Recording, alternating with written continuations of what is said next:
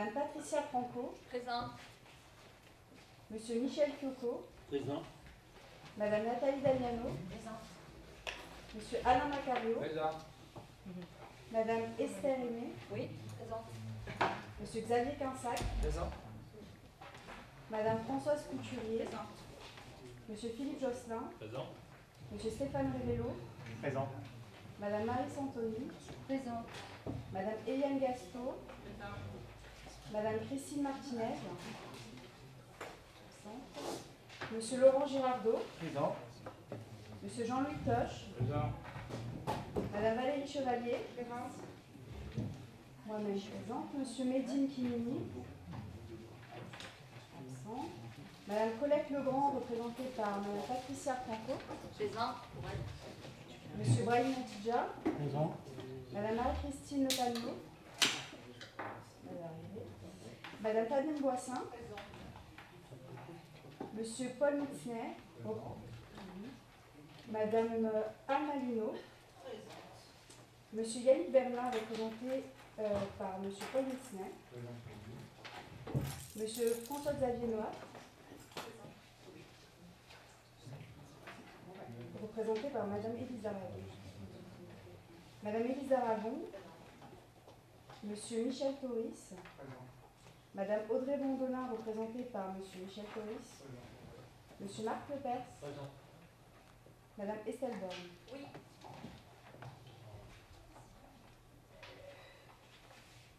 Le quorum est largement atteint, du coup. J'aime bien du coup. Merci, euh, Madame Macanel, merci.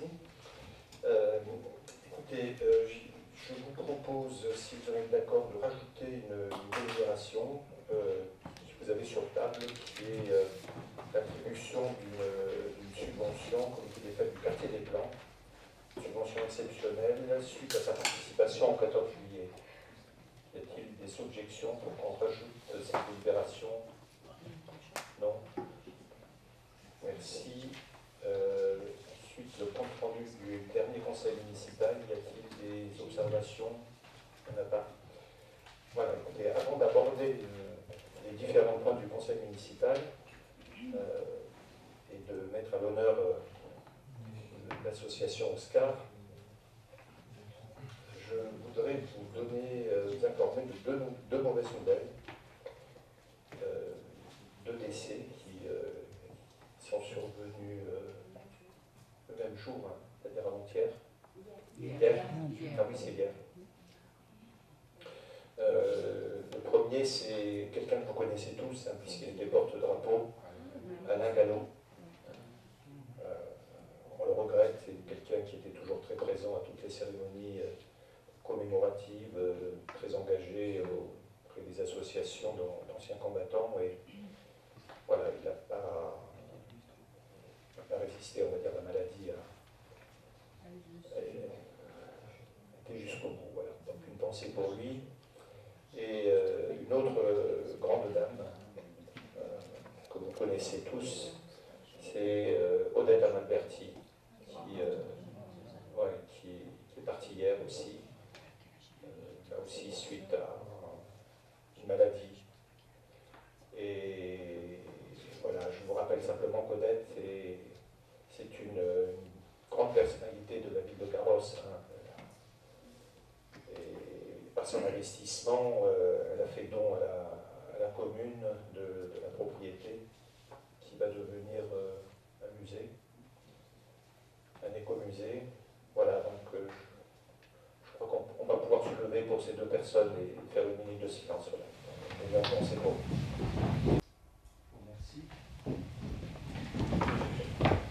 Nous vous tiendrons au courant des, des dates des obsèques. Je suppose que vous serez nombreux à vouloir y assister. Et donc je dis à l'administration hein, d'en informer euh, l'ensemble des élus. Monsieur Gallo, c'est à 17h lundi au crématorium. Lundi 17h au crématorium pour euh, Odette Amalberti, nous ne le savons pas. J'ai vu sa, sa ce matin au téléphone, donc euh, elle m'appellera lorsque sera organisé. Voilà. Euh, bah, écoutez, euh, comme nous avons l'habitude de, le faire depuis maintenant un, certain nombre de, mois, nous mettons à l'honneur euh, soit, des personnalités, soit des associations, sur des clubs sportifs sportives qui ont brillé et qui ont fait briller les couleurs de carrosse ce mois-ci, j'ai souhaité euh, mettre à l'honneur une, association euh, qui, euh, qui, est présente à travers ses œuvres dans, toute la ville et qui permet de d'égayer donc notre ville et, donner du sens à l'art dans la rue, puisque tous les tableaux des artistes qui, adhèrent à cette association sont présents partout. Donc il suffit de sortir euh, de la mairie, euh, aller vers la médiathèque. Euh, et maintenant, et c'est là que je pense qu'il faut, c'est important de marquer notre reconnaissance. ils ont voulu aller beaucoup plus loin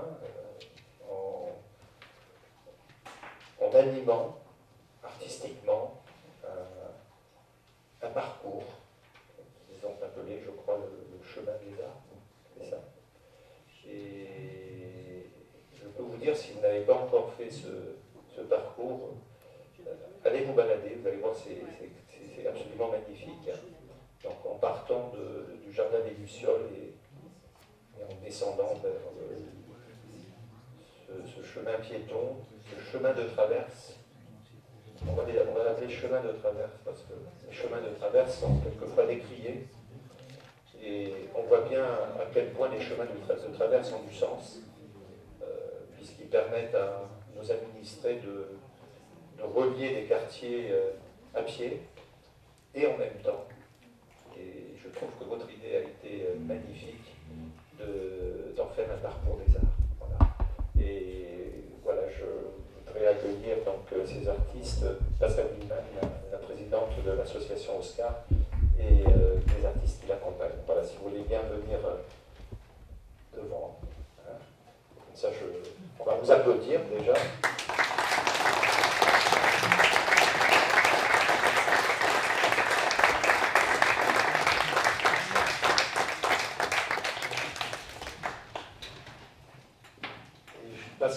Le chaque fois qu'il y a une personnalité qui, euh, vient un carrosse, un, préfet, euh,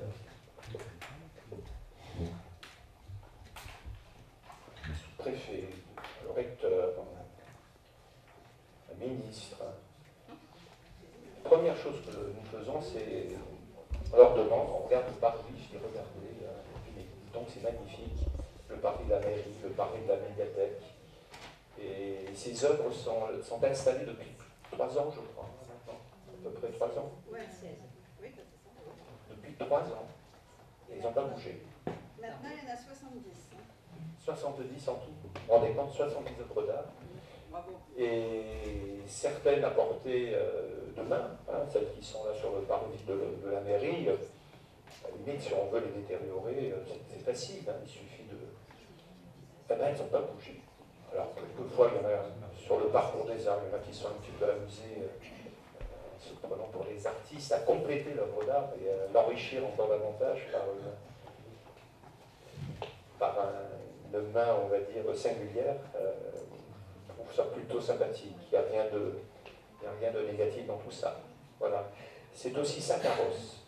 Hein, parce qu'on dit, euh, bah, lui, carrosse, euh, on ne sait pas très bien, une mauvaise réputation.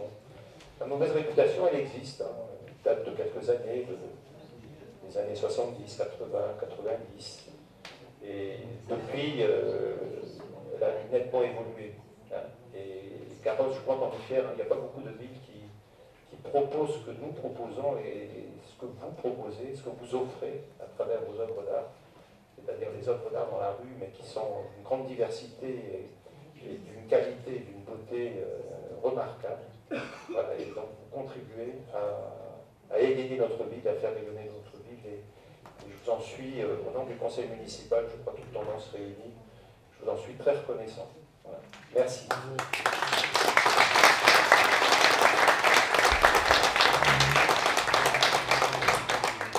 Je sais pas ce qu'il y a. Non. Alors on va donner la médaille, on va dire, on va la donner à Pascal. Oui, c'est Oscar. Oscar. La médaille de, la ville. Et, euh, euh, et puis un petit cadeau. Je sais que vous êtes tous très branchés. Ça vous permettra de connecter votre euh, iPhone ou votre smartphone. Quelle que soit la marque, c'est ça qui est intéressant. Apple, Samsung d'autres marques et, et rester en permanence connecté. Voilà. Merci. Vous voulez dire un mot Alors, tu veux te mettre devant, là, viens. Prends mon micro, prends mon micro. Ouais, mais prends mon micro d'abord, dis devant. Ah oui, il y a le tableau de Ah oui. Venez, rapprochez-vous, Voilà, je va présente pour les prochaines éditions. Mais il n'a pas entendu. Ah bah tu peux. Euh, bon, bah écoutez, euh, merci. Nous, on fait pas ça pour la gloire, on fait ça pour le plaisir. Euh, le plaisir de, de partager avec euh, toute la population, avec tout le monde, de ne pas rester dans notre petit local, de sortir. Et, et si on pouvait aller dans d'autres communes, que ça fasse, que ça puisse s'étendre, ce serait génial. Voilà. J'avais essayé d'investir un peu la zone industrielle, mais là c'est beaucoup plus compliqué. Au moins dans la ville, c'est plus proche de la population, c'est plus proche de nous tous et, euh, et on a des retours intéressants. Voilà. Merci, euh, merci pour la belle médaille que nous accrocherons dans notre local. Merci.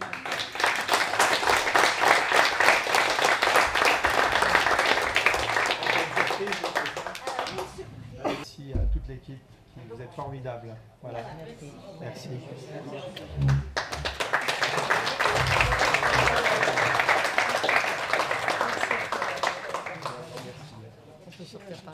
Non. Non, faut, faut, faire le tour. hein. Oui, on fait le tour, on passe par là-bas. Il. Alors, il se trouve que les artistes adorent Carros, en fait.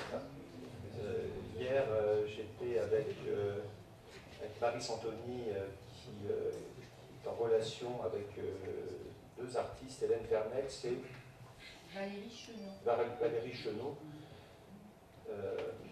Et surtout Hélène Fernex qui, qui s'est proposé d'offrir une vingtaine d'œuvres, je crois, à, la, à la ville de Carrosse. Et Fernex était une amie d'André Verdet.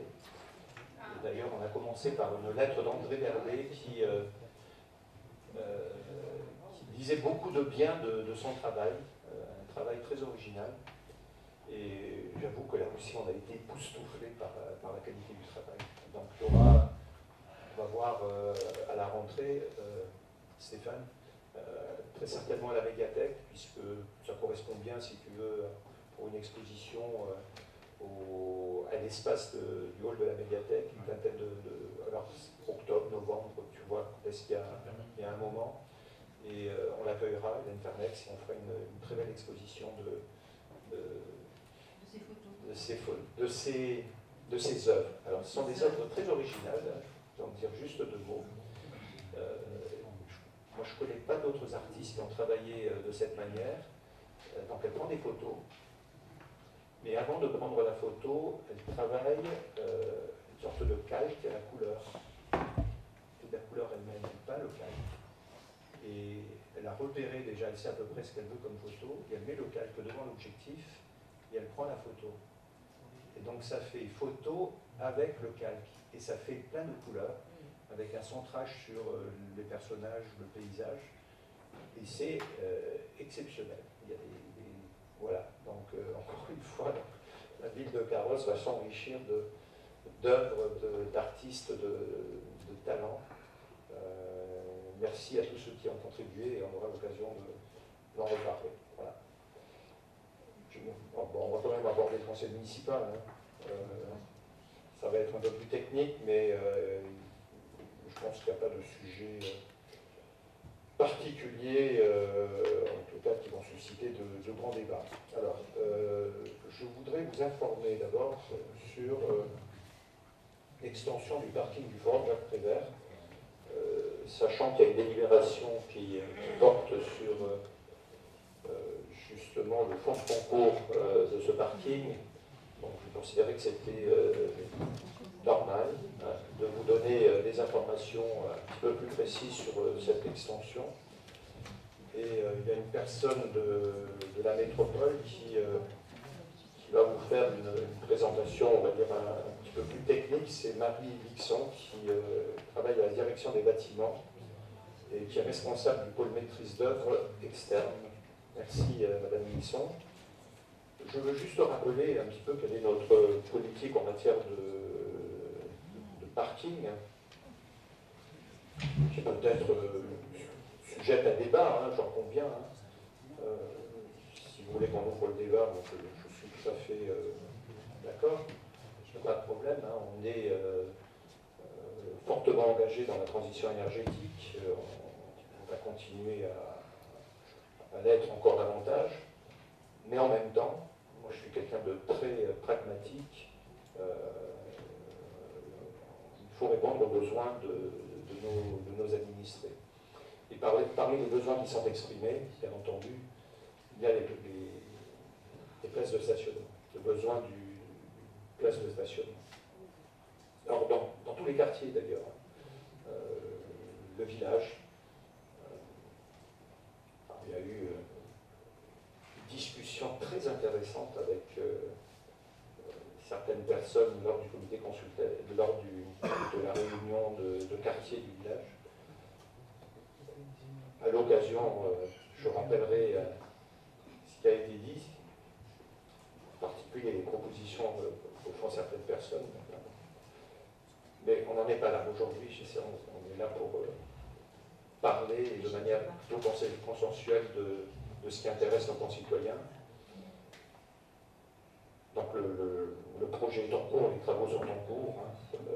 Il y a, on a donné une fiche.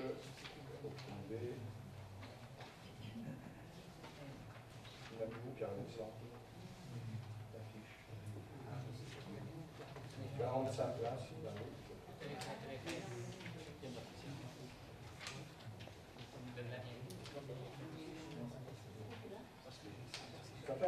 Il y a 40, 44 places deux tranches.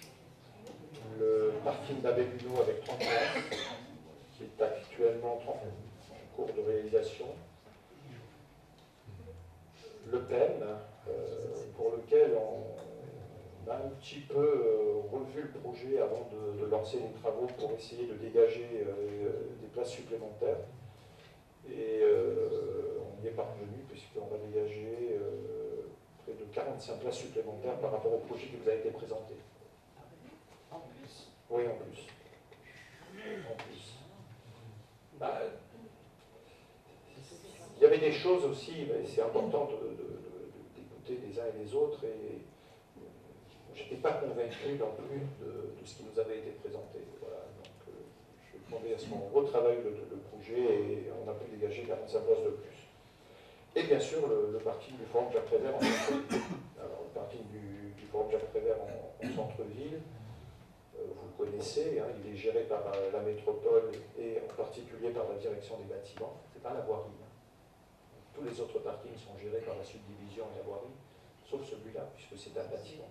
C'est du bâti. Hein. donc ça fait partie de la direction des bâtiments. Donc lorsque j'ai demandé euh, proposer un projet qui permette euh, d'avoir des places supplémentaires. Et je me rappelle ce, qui m'avait été dit à l'époque par la direction des bâtiments. Euh, pourquoi pas, on va étudier la question, mais euh, on, vous prévient, les, il, faudra, il faudra que ce soit payant. J'ai dit non, ce n'en est pas question. Moi, je me suis engagé dans mon mandat à ne pas faire préserver la gratuité des, des parkings et, donc je dis on ne pourra pas, euh, voilà, je veux qu'on respecte nos engagements. Le, consensus sur lequel nous sommes arrivés, c'est que euh, pour ce parking, il y ait une, un fonds de concours, c'est-à-dire une participation de la commune, pour préserver la gratuité. Je trouvais que c'était euh, bon compromis. Euh, et sur un budget, vous allez le présenter d'un million d'eux, il y aura une, un fonds de concours qu'on votera tout à l'heure hein, de 350 000 euros. Euh, on est à peu près à un quart, hein, c'est ça, un peu, plus d'un quart du prix du budget, ça me, semble tout à fait raisonnable et je voulais vraiment remercier euh, la métropole Nice d'Azur, son président, euh, l'ensemble de, des techniciens qui ont travaillé sur, euh, sur ce projet vous, présenter. Ce qui est intéressant, c'est qu'on va, garder l'aspect du, parking actuel. Je ne sais pas si vous voyez, c'est un parking de centre-ville, mais euh, qui ne fait pas euh, mastoc, il est très aéré, euh, y compris euh, dans, les sous-sols, je veux dire, il s'est ouvert vers l'extérieur, vers la nature. Et c'est un parking qui, qui, est très bien intégré dans, dans, l'environnement et dans le paysage, et on va préserver ça.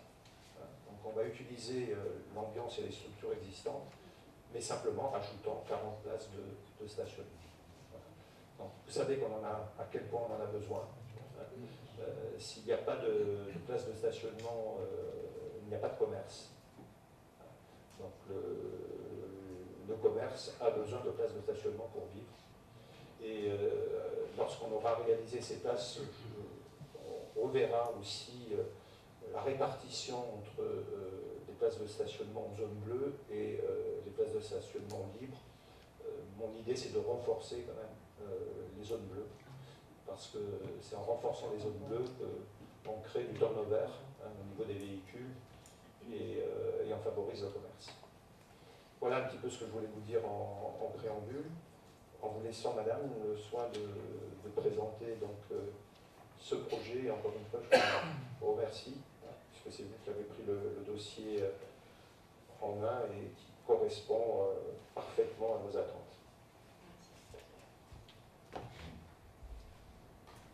Donc la présente opération concerne l'extension du parking Jacques Prévert une extension de, de 40 places. Hein. Aujourd'hui, le parking euh, fait 190 places. A été livré euh, en 2010. L'objectif est donc de l'augmenter de 40 places. Pour vous rappeler un petit peu les éléments actuels, ça c'est un plan, un plan noir, ça prend du dessus. Donc aujourd'hui, toute la zone rouge, c'est le niveau euh, rez-de-chaussée qui donne directement sur, sur l'avenue des Cigales, sur lequel on a 51 places actuelles avec 3 places PNR avec ces circulations qui permettent de descendre voilà, en rouge au R-1 et de ressortir niveau de l'avenue des Cigales, ces circulations piétonnes.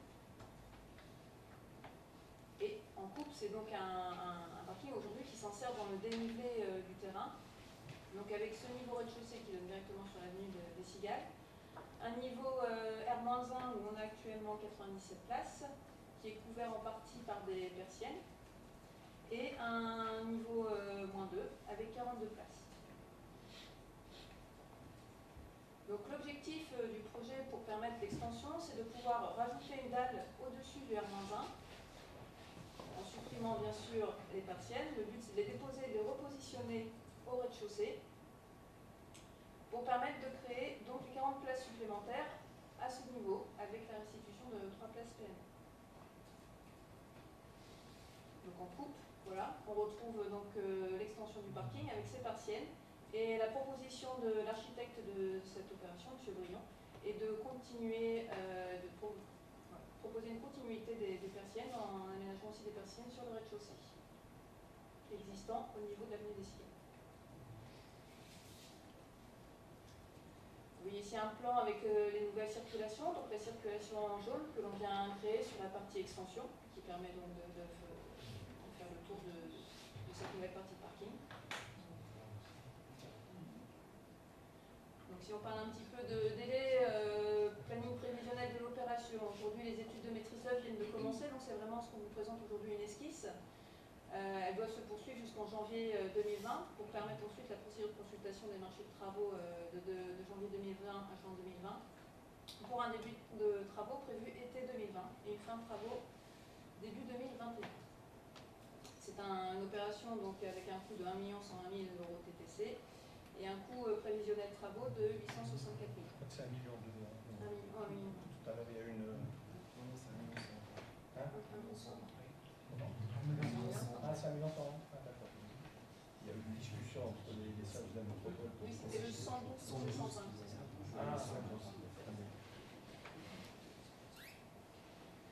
Donc voilà quelques visuels que vous a préparé euh, l'architecte pour vous donner un petit peu l'état d'esprit du, du parking. C'est vrai, c'est la volonté, c'est de retrouver euh, l'unité architecturale, Retrouver l'esprit hein, du parking Oui. actuel. hein. pour trouver l'unité l'esprit de- du parking actuel avec, euh, je sais pas si avec la petite souris on voit pas si.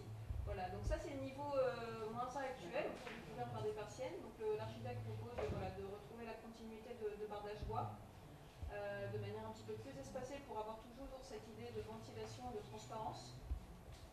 Et donc ce niveau qui est créé avec lequel et qui est recouvert de partiels. Voilà une autre vue. Euh, toujours de l'arrière du parking où l'architecte propose euh, en plus de la signalétique actuelle en jaune moins 2, en rouge moins 1, du coup de recréer une signalétique pour le niveau 1 en bleu. J'ai même préparé une petite vidéo. Si elle veut. Ah.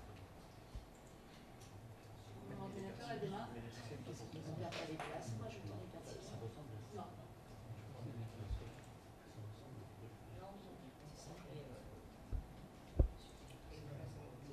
Ça, c'est le. Vidéo, mais elle se déclenche pas sur Ah. Normalement, il y a une petite barre qui va s'afficher. Je ne sais pas si elle est téléchargée vidéo. sinon Ah, je je ne sais pas si dans le Vous devez avoir le fichier quelque part, on peut le lancer à travers le fichier.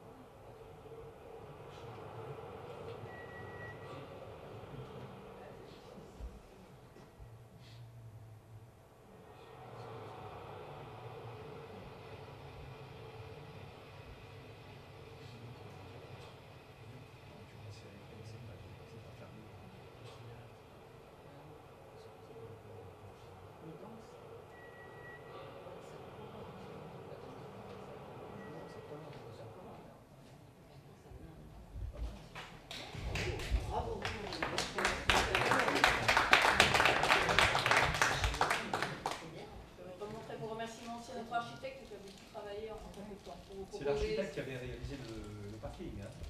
Alors, on est obligé de passer par lui. Hein. C'est son, Son bébé, son son projet. bébé. Ouais. Non, c'est bien. je trouve, Il y a une extension, on reste dans l'esprit. C'est couvert. Et- C'est couvert. Non, c'est pas couvert. c'est pas couvert. C'est Non, mais là, il y a quand même. Ombragé. C'est ombragé, c'est Voilà. C'est pas, fermé. C'est pas... Non, on le voit bien. Bien, si vous avez des questions. Oui, Madame Laragon Merci Monsieur le maire. Euh, merci Madame pour cet exposé, c'est très intéressant. J'aurais deux questions. La première, c'est euh, du coup à l'unité, la place, ça revient à combien? Par place supplémentaire à l'unité 18 euros hors taxe dans un réussi sans TTC. 20 dites euh, 18 000 euros hors taxe. C'est 28 25 000 euros 000 la place. Oui, voilà, c'est ça, 25 000. D'accord. Et la deuxième question que je que je voulais poser, c'était euh, c'était au sujet de ces 45 places supplémentaires. Je n'ai pas bien compris. 40. Ah, donc c'est 40, mais vous avez parlé de 45 en plus. Non, c'est pas ça? Non, non, ça, les pas 45 bien en compris. plus, c'est ce qu'on a pu dégager en retravaillant le projet de, de, de pôle d'échange multimodal. Ah, d'accord. Donc, donc en fait, c'est 40 places en plus, point final. D'accord. voilà. 40. 40. 40, on est d'accord.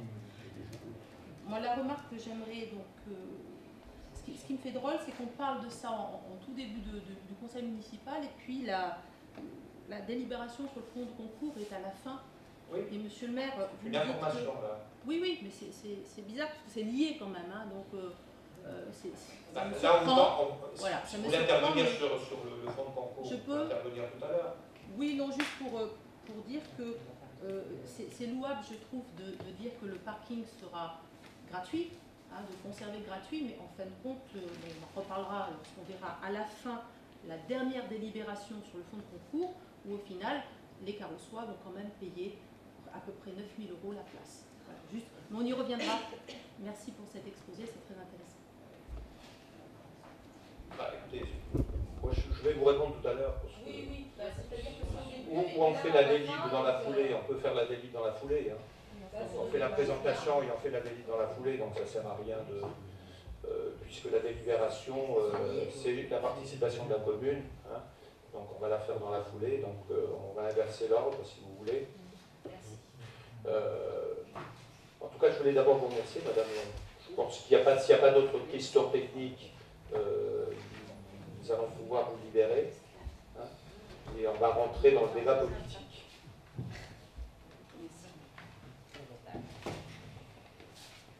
En vous remerciant une nouvelle fois. Alors, euh, sur le débat politique, euh, Madame d'Aragon, euh, je crois que vous n'êtes pas la seule, hein, puisque je sais que certains de vos amis posent systématiquement la même question. Tous les carrossois, c'est la question. posent la même, la même question et, s'inquiètent même. hein, je ne sais pas si le terme d'inquiéter est, le bon, s'alarment euh, sur le fait que euh, les parkings coûtent cher. Ben, c'est le prix, c'est une construction. Donc, euh, c'est le prix du parking, je crois, et encore là, il n'est pas forcément excessif au niveau du prix. Donc, il y avait une idée des prix. euh, ça coûte combien une base de parking sur, euh, sur une construction neuve? Bien 25. Sur Internet, on vient 25. On n'est pas dans la fourchette haute, hein, c'est en, en taxes, mais j'ai des chiffres de, de 17 à euh, 20, 21 000 hors taxes. De 17 à 20, 25 000 hors taxes, c'est ça Et là, on est à 18 000 hors taxes. 18 000, on est dans- donc dans la fourchette basse. C'est normal, puisqu'il y a déjà une structure existante. Voilà.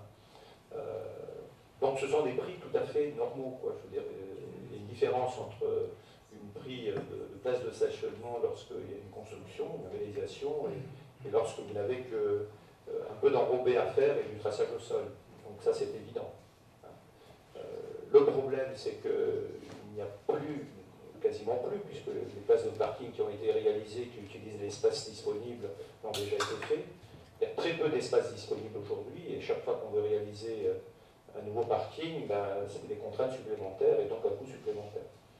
Euh, alors que les, que les carrossoirs, euh, le budget de la commune, donc c'est un tiers, un, quart à peu près, hein, du budget de la commune qui contribue au financement du parking, je ne vois pas ce qu'il y a de, gênant. Hein. Euh, c'est pas 100%, euh, et encore une fois, il faudrait remercier la métropole de, financer euh, les trois autres quarts. Euh, je crois qu'au contraire, on devrait se féliciter de, cette participation de, la métropole. hein. Et, voilà. Et puis les besoins, c'est les besoins des carrossoises et des carrossois, ce sont eux qui vont l'utiliser. hein. Alors la question qui se pose, et là je crois que j'aimerais bien que vous ayez le courage de vos opinions. Voilà, je vous garde en face et je vous le dis. hein. Euh, vous êtes pour ou contre les places de stationnement supplémentaires euh, en ville et dans les différents quartiers de la ville Puisque vous n'osez pas le dire, mais à chaque fois vous trouvez des prétextes pour dire c'est pas bien ce que vous faites, ça coûte trop cher. Euh, et je reviendrai, puisque maintenant vous, vous nous attaquez euh, sur les places de stationnement, je reviendrai sur cet échange hallucinant, et je pèse mes mots, hein. Les personnes qui étaient présentes confirmer lors de, de, la réunion de quartier du village. On nous attaque pareil, on commence par nous attaquer vos amis, hein. ceux qui vont constituer le, prochain groupe et là, présent, ils sont venus en force et bien sûr, ils se sont répartis les propos les questions. Euh, le premier, euh, c'était euh, pareil, le coût du, parking du village, c'est hallucinant, c'est trop cher, c'est pas normal, etc. Pareil, c'est une construction aussi. Hein. le terrain n'est pas plat, il faut construire des murs, il y a un aspect paysager, il faut refaire la voie, hein, qui, est, en très, mauvais état, et tout ça, ça fait qu'on a un coût qui est effectivement c'est important par rapport à une place de parking, euh, euh, comme je vous disais, qui, ne nécessite que de l'enrober et de tracer au sol. Euh, et puis là, on nous dit, c'est pour ça que je, dis, dis, j'arrive pas très bien à comprendre la logique. D'abord, on nous dit c'est trop cher. Et puis on nous dit, mais tant qu'à faire, vous n'aviez qu'à aller jusqu'au bout de l'aspect paysager et de couvrir ces places de parking, même si ça coûte beaucoup plus cher, c'est pas grave. Hein au moins on aurait eu euh, la partie paysagère. Accordez vos violons. On ne peut pas nous reprocher d'avoir des places de stationnement à l'unité trop chères et nous dire bah, vous auriez dû le faire, encore plus cher, hein, pour qu'il soit encore plus paysager. Première chose. Deuxième chose aussi, les personnes qui sont autour de vous, hein, euh, en tout cas de votre équipe ou de l'équipe de, votre prochain leader. Et alors c'est là que je, je, vraiment n'arrive pas à comprendre. On nous dit mais pourquoi vous faites un parking au village Ça sert à rien. Hein, on n'en a pas besoin. On n'en a pas besoin. Euh, il y a suffisamment de places de stationnement. Ce n'est pas parce qu'il y a quelques fêtes dans l'année euh, qui nécessitent effectivement des places de stationnement supplémentaires qu'il faut faire un parking. Donc déjà, première chose qu'on dit, c'est qu'ils sont contre le parking du village, d'une part parce qu'ils considèrent que il n'y a pas de besoin, et d'autre part parce qu'il coûte cher, même si vous veulent le faire coûter encore plus cher.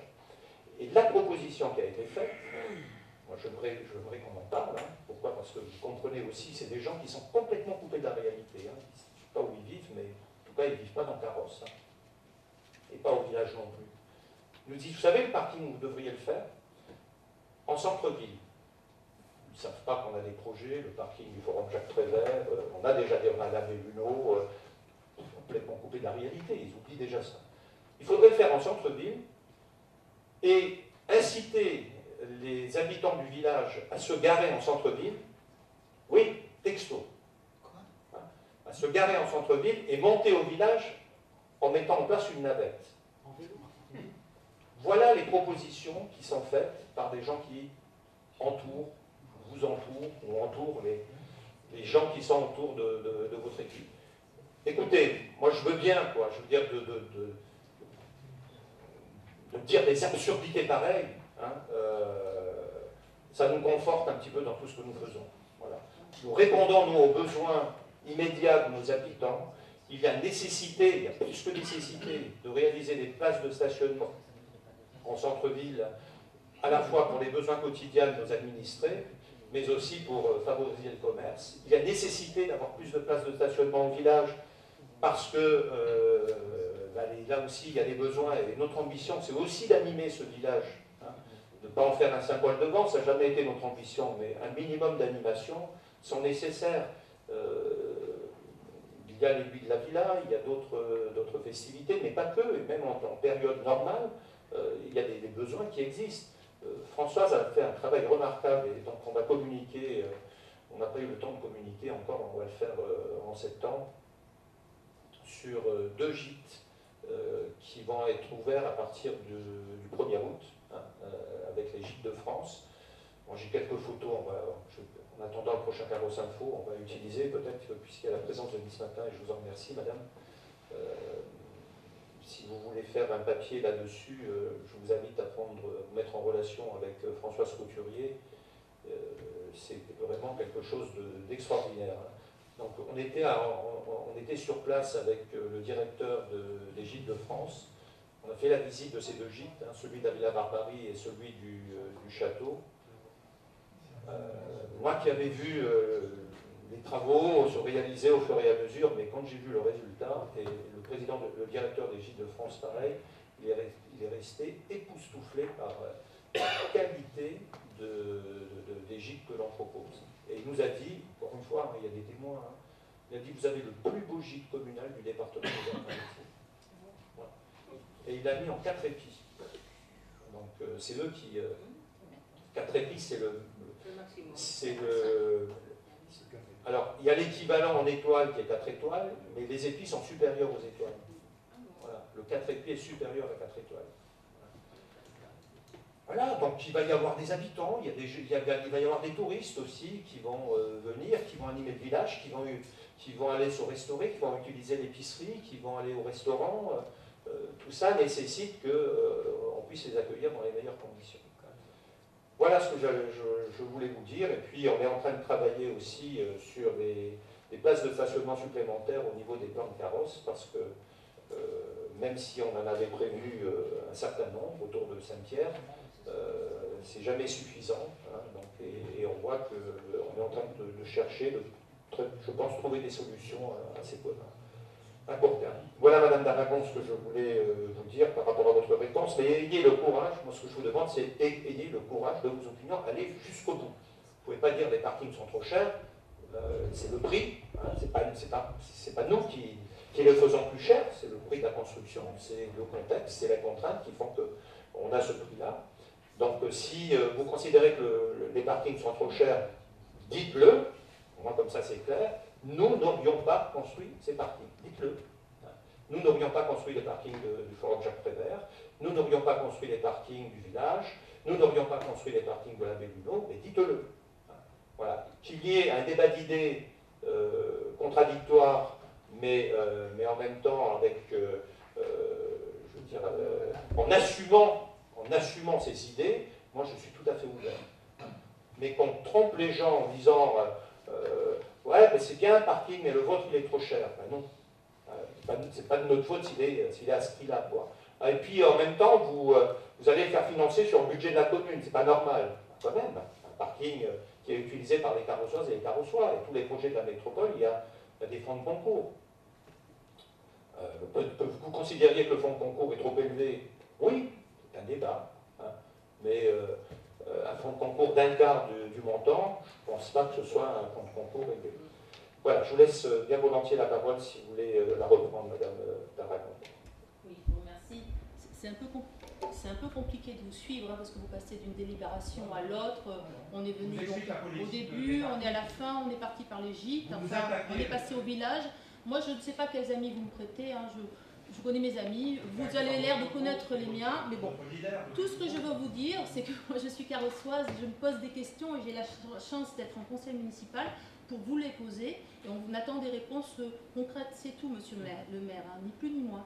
Voilà, en tant que carrossoise. Alors, ce que je voulais euh, vous, vous, vous dire. N'assumez pas vos amitiés. De quoi, de quoi vous parlez Vous Vous avez un connaissez mes amis Non, mais c'est Madame, incroyable ce que Madame, vous êtes dit. Madame, Madame Vous êtes en train de dire vous que êtes vous dans un connaissez groupe, mes amis, vous êtes en train de dire que euh, euh, Vous non, qu'il faut assumer nos, nos- nos positions. Je suis en train de Vous vous poser des questions. Je Assumez le fait que vous ayez des membres de votre groupe qui bah, tiennent des- chacun- qui tiennent des positions très bizarres. Alors, excusez-moi, mais je suis en train de, de vous poser des questions en tant qu'élu, en tant que carrossoise. Voilà, merci beaucoup. Et arrêtez de faire des amalgames, de passer d'une délibération à l'autre. C'est très pénible. D'abord, on a, on a du mal à vous suivre, puis en plus, on a l'impression que vous comblez le temps pour. euh, euh, je ne sais pas pourquoi d'ailleurs. Bon, voilà. Alors, juste, j'ai encore une ou deux choses à, à vous dire. Euh, par rapport à ce parking, euh, moi je trouve que c'est bien qu'il y ait des parkings supplémentaires. hein. Euh, ce que j'aimerais savoir, c'est que, par exemple, le parking de la Belluno, c'est aussi une bonne chose. 30 places. Et les prix sont beaucoup moins éle- élevés à la place. Là, je ne comprends pas pourquoi il y a euh, euh, des différences. Ça, c'est la première chose. Et là aussi, vous voyez, non, mais je vous pose la question, et pourquoi il y a un fonds de concours pour celui-ci et pas pour l'autre? Enfin, moi, je ne comprends pas. C'est la, métro- la métropole qui a cette compétence. Vous êtes d'accord, monsieur le maire? C'est la, compétence de la métropole? Pourquoi, les carrossois doivent mettre la main à la poche alors que vous dites, c'est dans votre promesse euh, électorale de, de- de la- du d'avant, que les parkings ne seront pas payants. Alors arrêtez de le dire, ça va être payant. On va payer 9000 euros la place. Mais non, mais Mais si, payant, c'est la Voilà. place de stationnement qui est payante. je vous remercie de répondre aux, inter- aux- aux interrogations des carrossoirs. Mais ma- attendez, Madame d'Aragon, c'est hallucinant ce que vous dites. Encore une fois, vous, essayez de tromper les carrossoirs. Vous dites, vous dites, arrêtez de dire que ça sera gratuit. Les places de stationnement seront gratuites. Qu'il y, ait, qu'il y ait un coût pour la construction de ces places, c'est tout à fait normal. Que le coût soit réparti entre la métropole et la ville, c'est encore plus normal. Est-ce que ça avait été budgété, euh, Oui. le fonds de concours? Oui. Alors, le fonds de concours obtenu de la métropole, il n'est pas budgété. Ah bon, merci. Mais non, il n'est pas budgété parce qu'on le paiera en- à la fin de la réalisation des travaux, c'est-à-dire en fin 2021. D'accord, donc euh, c'était pas budgété. Mais on n'a pas le budgété puisque les travaux ne sont pas réalisés et que le fonds de concours ne sera demandé qu'à la fin de la réalisation des travaux, c'est-à-dire en 2021. Vous me dites, je ne comprends pas pourquoi le prix la Luno, ben allez le voir, vous verrez ce que c'est. Donc il a fallu pousser, mettre un mur et refaire le, refaire le sol, en enrobé. euh, c'est vrai qu'il y a eu un travail sur les réseaux aussi, et un travail d'embellissement, ça n'a rien à voir, c'est pas une construction, ça n'a rien à voir avec le parking du village, c'est pour ça qu'il est moins cher. C'est pour ça que chaque type de construction de parking a son prix en fonction des contraintes et en fonction de, du terrain et, et voilà, c'est, du contexte. C'est normal. Il n'y a pas de place, madame vous l'a dit tout à l'heure, ça va de 17 000 à 25 000 euh, hors taxe, la place de, stationnement en, en bâti. Pourquoi 17 000 Pourquoi 25 000 C'est 8 000 de plus? Ben, le contexte n'est pas le même. Et les suggestions ne sont pas les mêmes. Bon, allez, on clôt le débat. Euh, vous pouvez très bien ne pas voter pour le fonds de concours. Est-ce que quelqu'un d'autre souhaite euh, prendre la parole? Monsieur le maire, si vous permettez. Je vous en prie. Voilà, au nom de mes électeurs, donc euh, bon, vous connaissez mes positions, elles sont constantes, d'ailleurs on me le reproche, je suis plutôt euh, pro-automobiliste, donc pour moi euh, très clairement et euh, pour mon groupe la nécessité des parkings elle est absolue.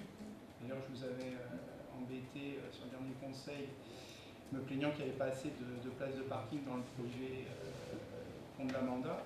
Donc on y est favorable. Après, il y a un coût, euh, il y a un coût sur les parkings. Dès lors que le stationnement euh, demeure gratuit euh, pour les carrossoirs, je ne vais pas aller vous embêter là-dessus. On est une des rares communes de France, compte tenu de notre taille, donc proposer du stationnement gratuit là où partout on harcèle les automobilistes, où on monopolise notre police municipale sur des missions de, de répression au stationnement plutôt que faire de la sécurité pour la population. Donc euh, c'est une orientation qui nous va très bien. Donc on, votera, ces parkings et on ne rentrera pas dans la polémique euh, du coup. Je n'ai pas les éléments euh, nécessaires pour savoir si ces parkings sont trop chers ou pas. En tout cas, c'est une nécessité. Donc on, vous accompagne sur cette délibération. Merci. Ne faites pas dire ce qu'on n'a pas dit. hein. On n'est pas pour le tout automobile. hein. Mais on est pragmatique. Donc il y a toujours une, phase pendant laquelle ben, on ne peut pas faire autrement. Les voitures sont là. On propose l'offre de transport en commun est insuffisante. Euh, il faut y arriver. hein. On va tendre vers, euh, vers cette transition énergétique qui est indispensable. Euh, et nous mettrons le- les moyens. Mais en attendant, on, a besoin. voilà, les gens, il faut bien qu'ils se gardent quelque part. Bien, merci M. Doris. S'il n'y a pas d'autres interventions, on va procéder au vote. Donc c'est la délibération, vous pouvez la rappeler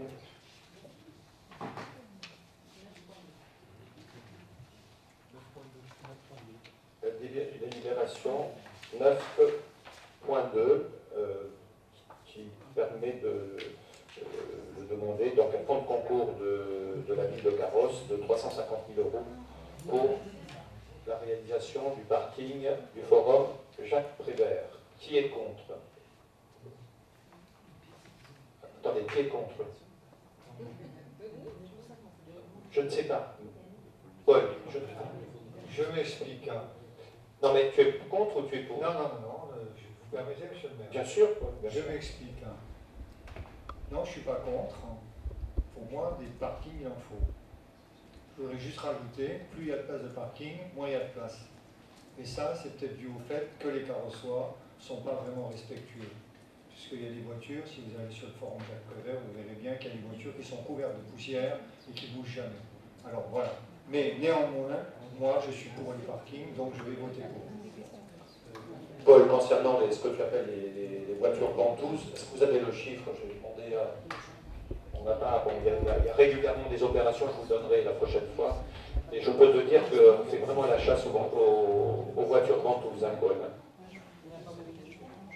Allez, on reprend alors. Qui est contre Monsieur le maire, juste une précision, hein. on, vote, on vote bien contre, pour nous, pour le fonds de concours, pas contre les parkings. D'accord Ça veut rien dire. Mais si, c'est- Ben, ben, si vous votez contre le fonds de, de concours, vous votez contre les parkings.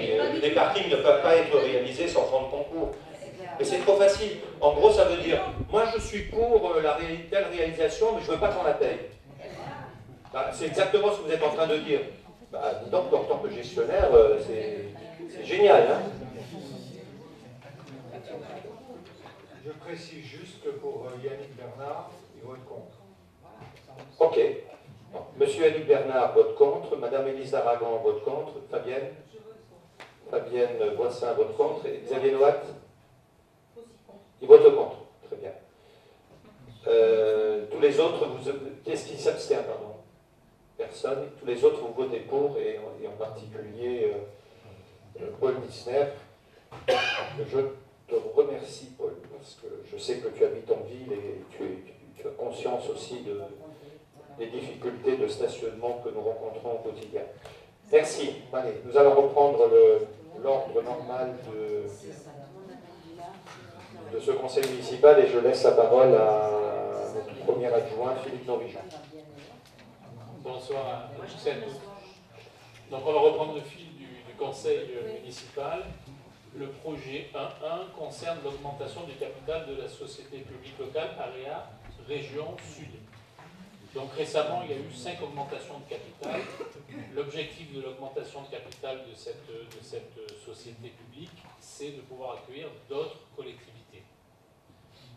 Donc, l'augmentation proposée, nous statuons en tant que membre, hein, en tant qu'actionnaire de la, de la société, donc chaque actionnaire est obligé de délibérer, bien sûr. L'augmentation sera plafonnée à 89 199 euros, donc le capital sera porté de 461 601 à 550 800 euros. Donc ça correspond à la création de 583 nouvelles actions, toujours au montant euh, initial de 153 euros. Donc il y a une, annexe, et puis pour nous, évidemment, Ville de Carrosse, ça ne change rien. On est, propriétaire d'une action de 153 avant l'augmentation du capital, et on reste propriétaire de cette action après l'augmentation du capital, donc pas d'impact financier pour, euh, pour. Je pense que c'est quelque chose de courant. Oui, on a fait ça. Il y a de nouvelles villes qui, euh, qui adhèrent à l'AREA, donc euh, il y a une augmentation de capital. Je voulais juste préciser, mais je crois que euh, tout à l'heure, euh, euh, Michel Dioco va, dans sa présentation sur euh, le bilan de l'AREA PACA, euh, vous dire que nous sommes très satisfaits, nous, de Carrosse, de, euh, du travail réalisé par l'AREA PACA, qui intervient sur plusieurs euh, dossiers, l'école Simone Veil en particulier. Hein, Ils font vraiment un, excellent travail sur le projet école également. Donc ce sont eux qui avaient l'assistance de maîtrise d'ouvrage et, je peux vous dire que là aussi le travail est, remarquable. Sur le parc de la Tour, parc de loisirs de la Tour, euh, ils interviennent également et ils interviennent aussi dans une petite mission sur le projet d'agrotourisme euh, à l'évêché. Voilà. Et, euh, voilà. Moi, je suis très, très, très, très content de, cette relation, de ce partenariat avec l'ARIA PACA. Je tenais à, vous le dire et, à les remercier très sincèrement de, de- des services qu'ils nous offrent. Il ne faut pas voter s'il faut voter. hein. Qui est contre? Personne qui s'abstient, personne. Merci pour l'unanimité. La réponse, vous aurez éteindre le micro. Merci. Donc le projet de délibération suivant, c'est donc là dans le domaine des ressources humaines. C'est la mise à jour du tableau des effectifs, donc qui concerne de la création de, de vacances d'emploi. Donc le principe de la création de vacances d'emploi, c'est de stabiliser des contrats qui sont plutôt précaires. Donc deux fois 12 mois, c'est d'essayer de donner une certaine pérennité euh, à l'emploi. Donc dans la délibération, vous avez la liste hein, de tous les postes qui sont, euh, euh, créés. Mais comme d'habitude, hein, il y a la remarque importante, toute modification préalable aux nominations entraîne la suppression de l'emploi d'origine. Donc ce ne sont pas des recrutements, ce sont des nouveaux postes avec suppression du poste d'origine. Ce sont des transformations. Donc il y a quatre postes concernés, quatre postes d'adjoint technique, euh, deux à l'administration générale, un poste aux affaires scolaires et un poste à la direction des sports. Il y a également quatre postes d'adjoint d'animation pour le 1er octobre 2019, hein, deux postes à temps non complet à la direction de l'éducation, un poste à temps non complet 50%, toujours à la direction de l'éducation, et un poste non complet à 24h30, 70% à la direction de l'éducation. Il y a également la création d'un poste d'adjoint d'animation au 1er septembre à la direction de l'éducation, un poste d'adjoint du patrimoine à la médiathèque, 1er octobre, un poste de brigadier chef principal à la police euh, municipale au 1er septembre 2019. Donc le tableau récapitulatif hein, en synthèse dans le, projet de, Des interventions Autorise, oui. Est-ce que ça porte euh, à conséquence sur la masse salariale ou pas du tout? Le poste de la police municipale, oui, c'est une création de poste. Sachant qu'il y a des Dans les deux départs, oui, mais il y a eu une création de poste. Sinon, tout le reste, ce sont des emplois existants qui sont Il y a eu deux départs qui ont été remplacés et euh, une embauche qui est en cours, qui est réalisée, hein, qui a été réalisée, et donc l'agent va venir euh, au 1er septembre. Une embauche a été faite, donc il y a un renforcement des effectifs de la police municipale. D'accord, donc on sera favorable, c'est une dépense, une dépense pour nous utile, la sécurité, donc il n'y a pas de souci. Merci.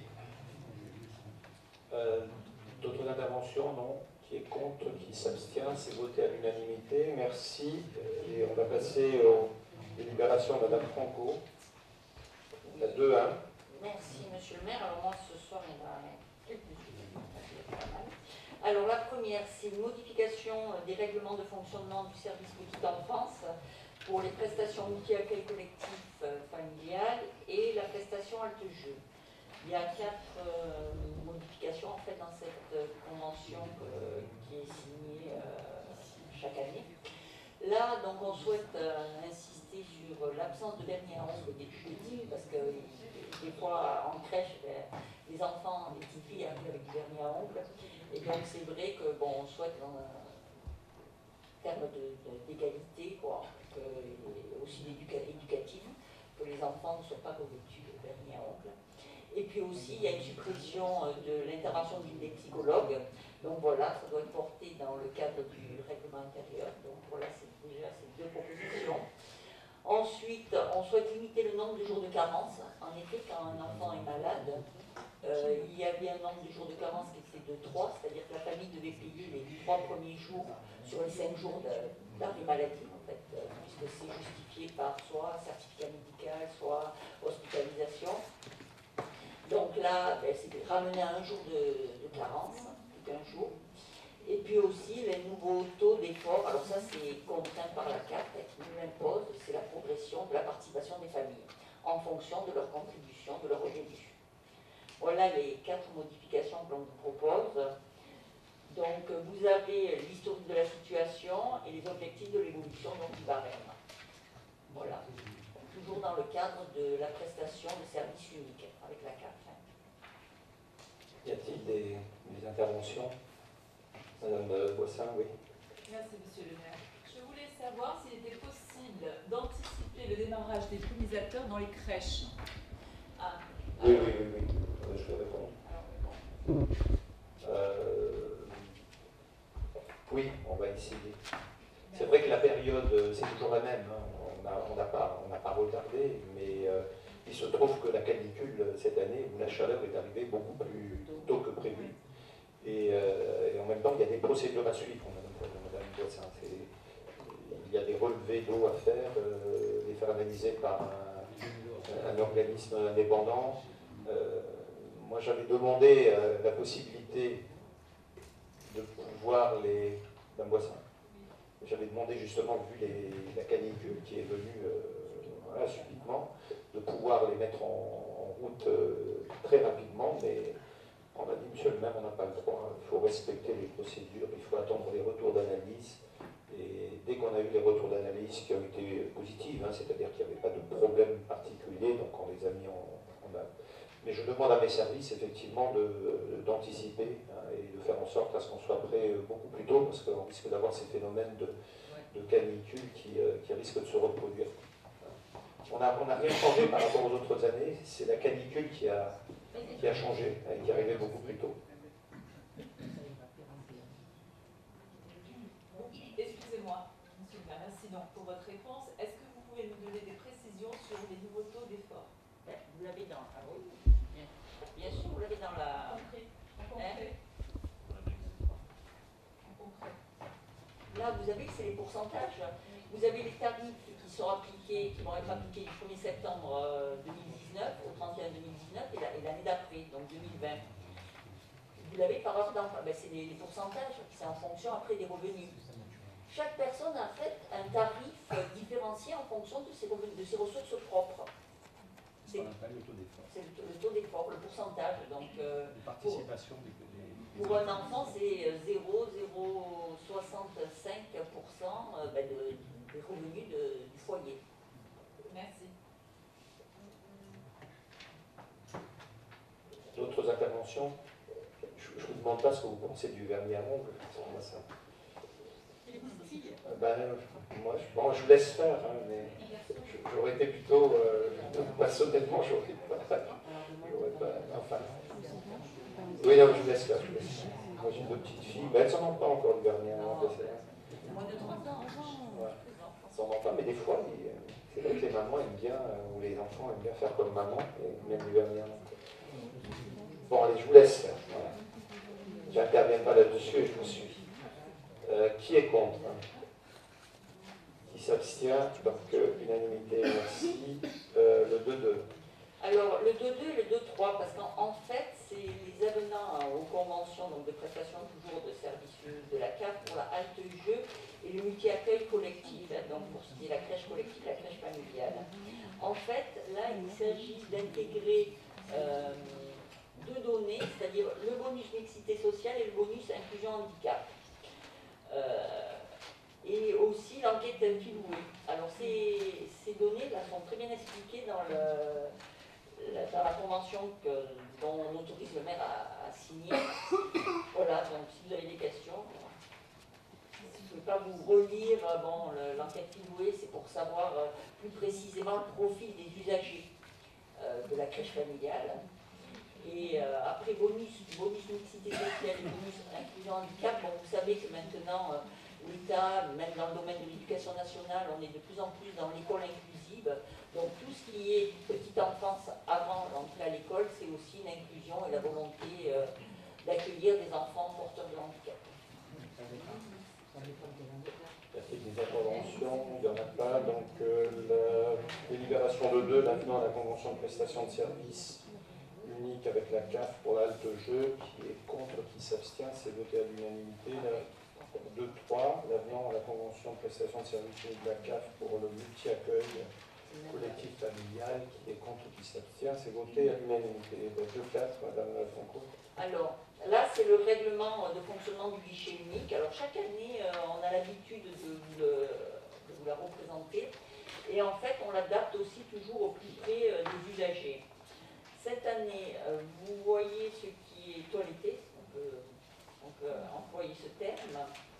En fait, c'est, on essaye d'alléger les justificatifs, parce qu'il y a beaucoup de justificatifs qui sont donnés, demandés on en a encore, encore quelques-uns, mais pour euh, arrêter ben, justement le, taux d'effort. Hein.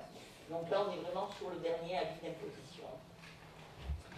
Et, euh, aussi les délais pour prévenir que l'enfant ne viendra pas. Parce que vous savez, à partir du moment où la famille s'est engagée, ben, euh, la famille doit payer l'activité. Donc voilà, et là, on, on a ramené à 24 heures à l'avance. Voilà donc les modifications euh, qui sont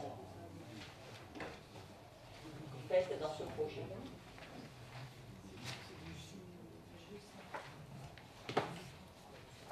Donc pour le règlement intérieur, vous avez le fonctionnement du guichet unique.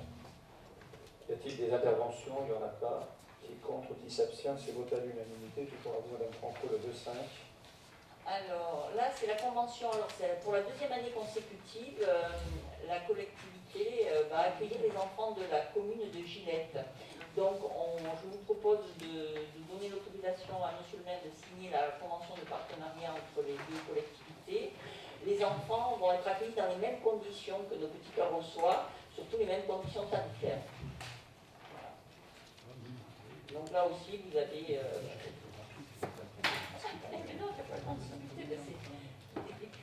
Euh, donc, euh, des questions sur le 2-5, non Qui est contre, qui s'abstient à Unanimité. La convention, la 2-6, convention avec l'éducation nationale. Alors, euh, nous avons été contactés en effet par les services du rectorat pour mettre en place cette convention et donc ben, nous verser un- une subvention. Mais en contrepartie, bien sûr, euh, c'est de mettre à disposition de l'enseignant référent euh, handicap euh, un bureau qui se situe à l'école Vian. Ce bureau doit contenir une chaise, des armoires à clés, l'accès au site internet, l'accès au matériel de reprographie pour les impressions et les copies, l'accès à l'affranchissement du courrier, la mise à, disposition de consommables, de papier, de fournitures de bureau courantes. Voilà, en fait, c'est une pratique, puisque maintenant l'enseignant en référence, ça fait pas mal d'années qu'il est, euh, implanté sur la collectivité, dans la commune de Carrosse. Et euh, cette année, on a été contacté pour mettre en place cette convention, et de ce fait, on va recevoir euh, une subvention de 1000 euros. C'est une, euh, une convention qui s'inscrit dans la durée puisqu'elle est prévue jusqu'en 2023-2024.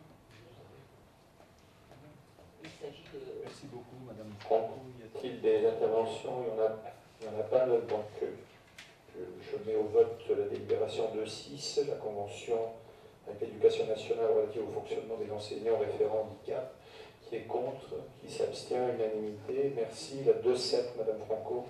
Alors là, c'est la convention d'objectifs et de financement avec la, la caisse d'allocation familiale pour l'école Simone Veil.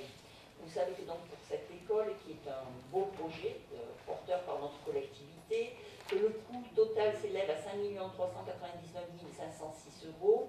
Nous avons sollicité la caisse d'allocation familiale pour nous aider dans ce financement à une hauteur de 200 000 euros pour participer au coût des travaux hein, sur l'investissement.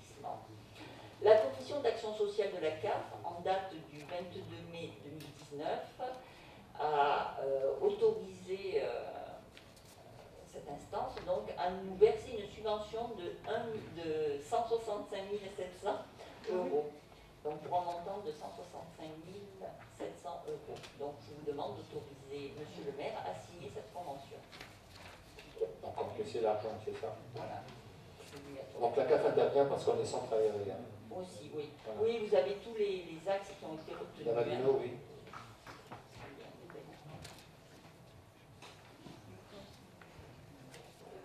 Alors sur, euh, sur cette délibération, euh, c'est délicat pour moi parce que moi, je suis prise entre deux, deux votes. Le vote pour, parce que tout ce qui est euh, participation de, de la CAF à de telles euh, des actions euh, de- avec la commune et l'éducation, je suis pour. Évidemment, le projet euh, euh, Simone Veil, je suis contre. Donc, ben, je reste malheureusement, j'aime pas ça, mais je reste au milieu et je m'abstiens. Voilà, c'est une position. Moi, je, je- je fais juste un petit commentaire. J'avais apprécié la, position de ce Doris la dernière fois. C'était très original. Il disait Je suis contre euh, le projet école. Mais voilà, maintenant il est là. C'était non, le centre de santé. Le centre de santé, hein, je crois. hein. Ouais. J'étais contre le centre de santé, mais voilà, maintenant il est là, il est lancé. hein, il est- Maintenant qu'il est lancé, ben, je soutiens. euh, euh, c'est ça Je trahis pas. Oui, je vais, je vais, je vais préciser. Non, mais là- je veux dire, voilà, vous étiez aussi Oui, confronté non, au même non, non, mais dilemme. pas de souci, je vais, je vais préciser. Je pense que c'est dans le carrosse info qui va sortir. euh, Vous êtes trompé sur le montant. Oh, peut-être, oui, Non, la- Vous, êtes, vous dites que la participation devait être de 5 000, de 50 000, c'est- c'est 20 000. Bon, ce sera vérifié, il y a peut-être une erreur sur les chiffres. En Euh, tout cas, la, la- Alors, je n'ai pas corrigé, mais moi, ça me permet de vous le dire. Euh, regardez bien les montants, quoi. en tout cas, la position, elle est claire. Il est évident que C'était école, s'oppose. c'était école. hein. Oui, C'était la subvention sur école, la subvention à Alliance. Voilà, pas 50 000, c'était 20 000. Je crois que c'est l'ensemble de la subvention qui est de 50 000. Je crois qu'on avait déjà attribué 30 000 initialement, non? Oui, mais bon, En première intention, il y avait 20 000 de rajouter. Je crois que c'est ça, si je ne dis pas de bêtises. non, c'était pas ça. Il, me semble. Mais bon, par peu importe, la, la, la position elle est claire. Effectivement, on s'oppose quand on n'est pas d'accord avec un projet, on s'oppose. Mais une fois qu'il est là, on va pas, on va On pas pas le s'opposer à torpiller. Bah, non, mais et puis on va pas le torpiller, on va pas les mettre, un- on va pas les l'incendier. Donc le, le projet est là, maintenant il est là. Euh, dès lors qu'on vote effectivement une subvention euh, assez importante, notamment le, euh, le forum Prévert, on peut voter 20 ou 50 000 euros de subvention pour, Voilà, pour votre projet. Donc il n'aurait pas été logique. Il aurait Moi, pas ce que je crains, Madame Abino, c'est que chaque fois qu'on va parler de, de l'école Simone Veil, vous allez voter contre, quoi. Euh, y compris dans l'intérêt des enfants, euh, alors que l'école, elle sera là. En plus, c'est un beau projet. Non, vous ayez une position de principe au départ, mais, là, c'est comment, euh, c'est une subvention de, la CAF. Bien, allez, je, respecte votre position, Madame, euh, Darabon. Merci Monsieur Vert. Juste pour dire que nous, évidemment, on va voter pour parce que la subvention, c'est toujours bon à prendre. Voilà. On est contre le projet, mais on est pour la subvention. Alors, je ne développerai pas euh, plus que ça. Juste une précision. Vous mettez que le passage de 4 000 à 6 000 habitants euh, des temps de carrosse, ce sont des chiffres avérés ou euh, ou- vous, vous voulez sortir? Patricia, Bah, non, c'est le. Écrit, c'est les. euh, le chiffre de l'INSEE, oui, c'est le, le recensement. Les, les Donc, deux on, recensements. donc on, est, on est passé au plan de carrosse de 4 000 à 6 000 habitants. Enfin, entre 4 000 et 6 000 habitants. Oui. D'accord. C'est une information Mais, oui, importante. mais oui, mais ça peut mais dans Merci. combien d'années? Je ne sais pas pourquoi vous avez dit ça d'ailleurs. Je sais pas. C'est sur les, les deux, les deux derniers rec- alors, recensements. là. Oui, le dernier, il était il y a 10 ans, non c'est Non, mais non Mais non. Non, non, non, non. C'est pas des recensements, ça. Ça reflète deux années en arrière le recensement que tu as fait donner. Il est deux ans en arrière. Il est toujours décalé de deux ans le recensement. Bon, écoutez, on va vérifier, Patricia, on va vérifier ces chiffres. Et c'est- voilà, je voulais savoir il venait. Madame Laragon, c'est- vous, avez c'est vous avez- intéressante. vous avez posé une bonne question et je, et je demande à mes services de le vérifier, de vous donner euh, les éléments avec les sources. D'accord?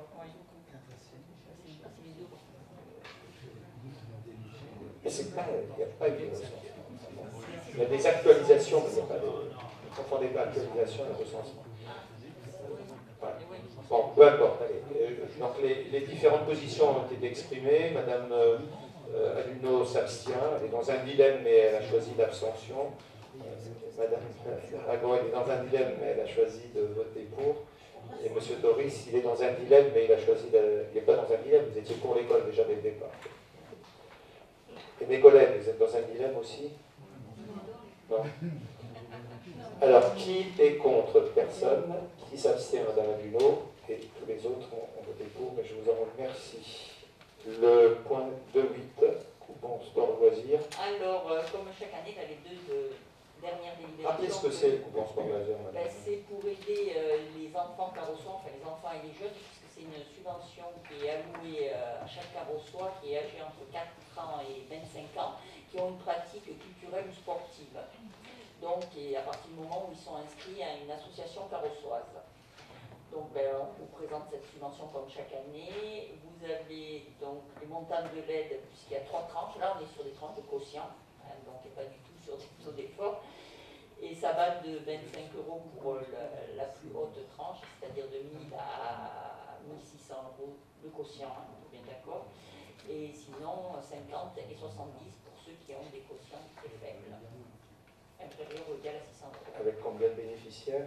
Alors, vous avez un petit tableau euh, récapitulatif derrière qui va, en fait, c'est 400, plus de 400 bénéficiaires. En 2016, c'est là où il y en a eu le plus, 422, 2017, 401 et l'année dernière, 413.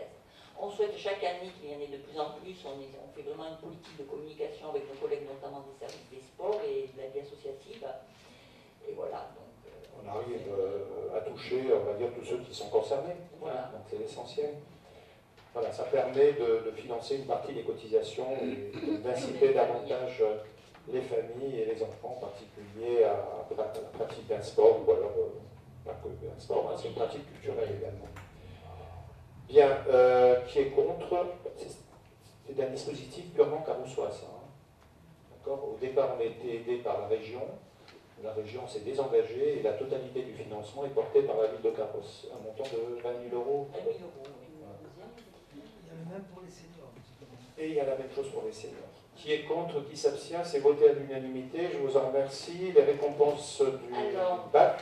Comme chaque année, donc, nous mettons à l'honneur nos jeunes carrossois qui ont obtenu la mention bien ou la mention très bien au baccalauréat, que ce soit le baccalauréat général, technologique ou professionnel. Donc on vous propose de leur allouer une somme de 80 euros pour la mention très bien, 50 euros pour la mention bien, bien sûr contre présentation diplôme, je dirais du diplôme ou du relevé de notes, parce que des fois, à la date où vous mettez le diplôme, ils n'ont peut-être pas encore reçu, hein, mais enfin ça, ça dépend quand euh, l'établissement d'origine fait la remise de- des diplômes et ça peut aller jusqu'à Noël. Donc euh, je dirais photocopie du diplôme ou, de- ou du relevé de notes et ainsi qu'un relevé d'identité bancaire. Et par rapport à l'année dernière, la somme. La somme, c'est la même. C'est la même, ça n'a pas changé. Non, non. Juste le nombre de bénéficiaires du plus de, de jeunes qui ont des On mentions attend les pas chiffres du du on attend, avant, j'étais chef du bac, alors je pouvais vous le dire. Là, je, je le suis. On a demandé les chiffres au rectorat. Donc, on attend le, le retour. Je. En général, c'est en septembre qu'on a les chiffres. Passée, il y avait des mentions comme ça. Juste pour euh, savoir combien de carrossois sont méritants comme ça, c'est a intéressant. de mais, euh, On- Mention bien et très bien. Je pense que c'était plus d'une vingtaine. Pas mal. Oui, Très bien. oui, non, bien et très Bien, bien. très bien. Bien. Bon, Très bien. Très très bien. Non, bien, je Bon, Non, c'était bien. allez, on attend que le rectorat nous donne les, les informations et puis on les mettra au l'honneur. Ah, il faut savoir qu'avec le nouveau système là, de euh, RGPD, de, de contrôle des sources et des origines, le dispositif s'est rigidifié. Donc en fait, il y a une, une démarche un peu plus complexe à faire que je pense que la ville a fournie. Et donc on sera des euh, destinataires du fichier, en effet, euh, ben, de l'été ou, ou à la fin du mois d'août.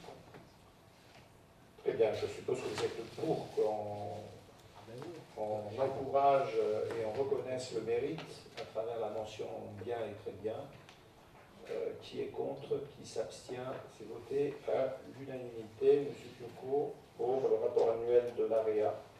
Oui, donc euh, pour le rapport annuel de l'AREA, en fait, euh, comme c'est assez complet, je vais faire un tout petit résumé pour dire que euh, donc en fait, qu'est-ce que c'est Je le rappelle, c'est un, service technique externalisé qui nous permet de, mener des, des chantiers un peu plus compliqués que d'habitude, comme le projet Simone Veil, ou même des interventions spécifiques euh, demandent des qualifications et un- et une expertise particulière qu'on a du mal à trouver. Donc c'est à la fois du très grand et du très petit. Voilà. Faire un résumé, pour ne pas être rébarbatif, en fait, euh, il gère, alors c'est 65 personnes, 7 millions d'euros de chiffre d'affaires, avec un résultat net de 177 000 euros, euh, 142 millions TTC de, de chiffre d'affaires, donc de travaux. Euh, ça représente à peu près 130 à- en, en 2018, donc c'était 135 opérations livrées et 123 ouvertures de chantier. Donc il y a- il y a beaucoup, beaucoup d'activités. Alors, que vous dire de plus? La loi nous oblige à approuver, le, en tant qu'actionnaire de l'AREA, à approuver le rapport d'activité et de donner quitus représentants de la commune pour l'année 2018. Voilà. Euh, si vous avez des questions à poser, je, suis là. J'ai des très beaux rapports euh, glacés, si vous voulez les voir, je les mets à disposition. C'est plus sympa que le texte qui nous a été remis. Bien, j'ai dit euh, le plus grand bien tout à l'heure, je pense pour de PACA, et vous invite, il faut, il faut le voter ou pas Philippe? Oui, oui, oui. Je vous invite à, à approuver donc, ce rapport et je voulais vous, vous remercier, Monsieur Pioco, de, de l'avoir présenté. Des questions Non? Allez, qui est contre, qui s'abstient, c'est voté à l'unanimité. Madame Damiano, c'est à vous concernant les questions euh, liées, les questions foncières. Merci, monsieur le maire. Donc, on avait vu avec la métropole environ 37 petites euh, impasses ou petites places qui n'étaient pas dénommées. C'est toujours dans le but euh, que les pompiers, les secours arrivent rapidement. Donc le facteur s'y retrouve, que l'on nomme ces, ces petites rues. Donc là aujourd'hui, euh, il s'agit de laisser Monsieur le maire dénommer la petite impasse, l'impasse Saint-Pierre, Saint-Sébastien, pardon, qui est dans le quartier Saint-Sébastien. Donc ça nous a paru cohérent. Voilà, tout simplement. Exceptionnel. Bien, on m'a demandé une autre. Euh, ce matin, on m'a demandé une autre voie, de baptiser une autre voie. Euh, on en avait 37, on en avait devant, devant le, devant le stade de foot. Je ne sais pas comment on appelle, on appelle route de la ZAC de la Grave. Enfin, c'est n'importe quoi, tu vois. Route de la Grave. Route de la Grave. De la Grave. Non, non, route de la ZAC de la Grave. Non, je t'assure. C'est le, le promoteur, il m'a dit, mais c'est trop complexe là, on s'y retrouve pas. Donc, on va réfléchir, c'est pas beau en plus. si vous êtes d'accord, on, on posera la prochaine. Non, on va l'appeler le, la, la, route du parc de, de non, la Tour. Non, la grave, ça a un sens. La grave, non, mais la grave, on le mettra plus loin. On le mettra plus loin, la grave. Là, on va l'aménager, il va y avoir le fleuve, il va y avoir le parc de la Tour. Ça sonne peut-être pas bien, mais ça a un sens. Mais ça s'appelle pas la grave, c'est route de la ZAC de la grave. C'est pas très beau. C'est vrai que le ZAC, c'est pas voilà. Bon, régulièrement, on proposera des, des changements de nom, des, des voies baptisées. Alors, sur la route de, de l'impasse Saint-Sébastien, qui est contre, qui s'abstient, c'est voté à l'unanimité. Les locations de salles, madame, on va changer. Euh, aussi, ça a été utile de faire la réunion en particulier au, au village. C'est une proposition qui est venue des, des habitants du village euh, de limiter, de réduire les horaires. Et moi, je, vais dans ce sens. Madame Belmeno Oui, oui, c'est tout à fait ça, monsieur le maire. Simplement, on réduit d'un petit peu les, les, horaires dans la nuit, afin que les riverains aient un petit peu la paix. Donc, euh, on passe de 8h à 1h du matin, ce qui est quand même déjà largement une plage horaire nécessaire pour faire la fête. Et ceci pour C'était juste à 3h, on autorisait jusqu'à 3h du matin. C'était long, et puis maintenant, le parc forestier, ça résonne pas mal. Et c'est vrai que les riverains étaient gênés. Et donc, euh, ça nous a paru normal de réduire un petit peu les horaires, et dans le foyer rural, et au parc forestier. Madame Darabon, oui. Juste une petite interrogation. Une heure du matin, euh, pour un réveillon, c'est ça n'a rien à voir avec le réveillon. Le réveillon, il y a toujours des dérogations qui sont très Ah, spéciales. d'accord. C'est c'est simplement. que- C'est des horaires, c'est des horaires euh, normaux. Voilà, D'accord. c'est- C'est pour. euh, Les dérogations sont possibles dans, dans ce Tout à cas-là. En général, pour le réveillon, on accorde une dérogation. Il y a toujours des, des dérogations très importantes et pour Ecovie et pour, euh, pour le réveillon, il n'y a pas de problème. Et puis tout le monde fait la fête en même temps. Que Oui, mais 3 heures du matin.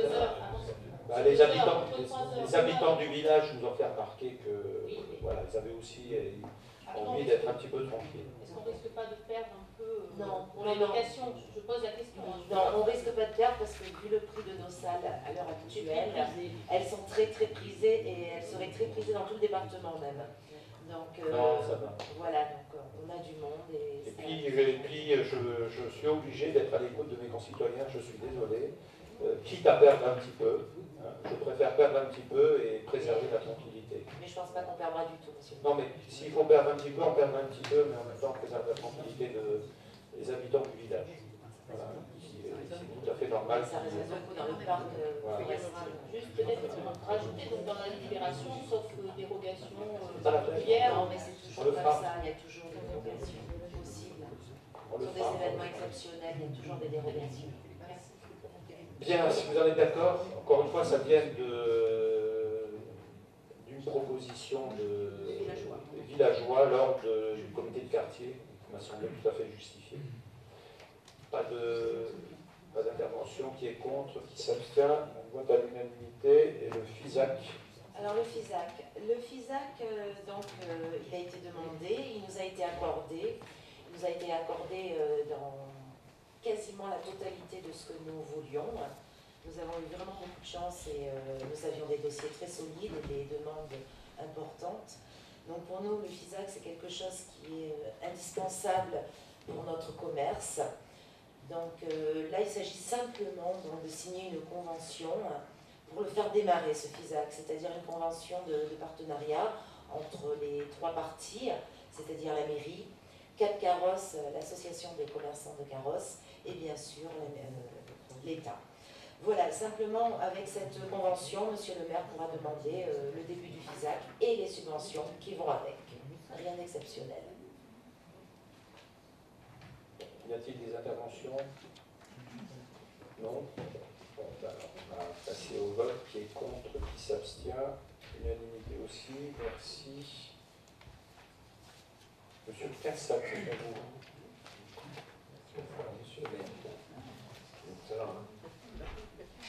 C'est ça. Cette délibération va consister à, quelque chose qui existait aujourd'hui depuis plus de 8 ans. On avait euh, une convention avec euh, euh, qui s'appelait euh, l'association VTP, Vétérinaire pour tous, qui, qui, nous aidait à hauteur de 50% aux frais de vétérinaire justement pour stériliser les chats. Aujourd'hui, cette association n'existe plus, donc on a trouvé nos services une autre association qui est 30 millions d'amis, qui nous aide à hauteur de 50%. Donc chaque année, on capture une quarantaine de chats depuis plusieurs années. C'est une obligation et ça se passe très très bien. Euh, voilà, donc aujourd'hui, on, abroge l'ancienne délibération avec cette association et on en recrée une avec 30 millions d'amis. Voilà. Merci pour ces précisions, monsieur, monsieur, euh, monsieur Chaque fois, je vous mélange. Pourtant, c'est différent. Euh, y a-t-il des questions? Non, personne. Bon, bah, écoutez, on va passer au vote. Qui est contre, qui s'abstient? Vous avez obtenu l'unanimité, monsieur Quinsac. Merci. Dame Couturier. Ah, j'avais pas, vu qu'il y avait les gîtes. Euh, voilà, donc tout simplement, c'est à la suite de la création des deux gîtes communaux, comme je vous l'avais euh, expliqué lors de la délibération euh, précédente, ça avait été une demande à la suite du projet d'itinérance des Baou, des dix communes, parce que à la suite de, l'étude qui avait été faite avec Altea, on avait fait un audit sur, sur et il y a un manque essentiel d'hébergement sur le village. Donc, avec Monsieur le maire, on, avait pris la décision de, de, pouvoir mettre en place ces gîtes. Ça a pris un peu de temps, mais euh, voilà, chose faite. Donc j'en suis très heureuse aujourd'hui. Donc je demande euh, à Monsieur le maire, enfin on demande à Monsieur le maire euh, d'autoriser Monsieur le maire à signer la convention avec les Gîtes de France et Tourisme Vert des Alpes-Maritimes. Alors pourquoi, peut-être que vous posez la question, sur la convention de mandat de gestion exclusive? Tout simplement parce qu'il y a exclusivité partagée. Aujourd'hui, nous n'avons pas les, je dirais pas les compétences, mais le personnel pour pouvoir gérer en commune la partie administrative, parce que c'est très lourd, au-delà de la commercialisation, c'est qu'il y a toute cette partie euh, lourde de contrats de réservation, les déposites, les arbres, les impayés, euh, voilà, il y a beaucoup de choses quand même à s'occuper. Donc c'est pour ça qu'on a pris euh, la décision de demander de faire la convention de gestion exclusive sur ces deux gîtes.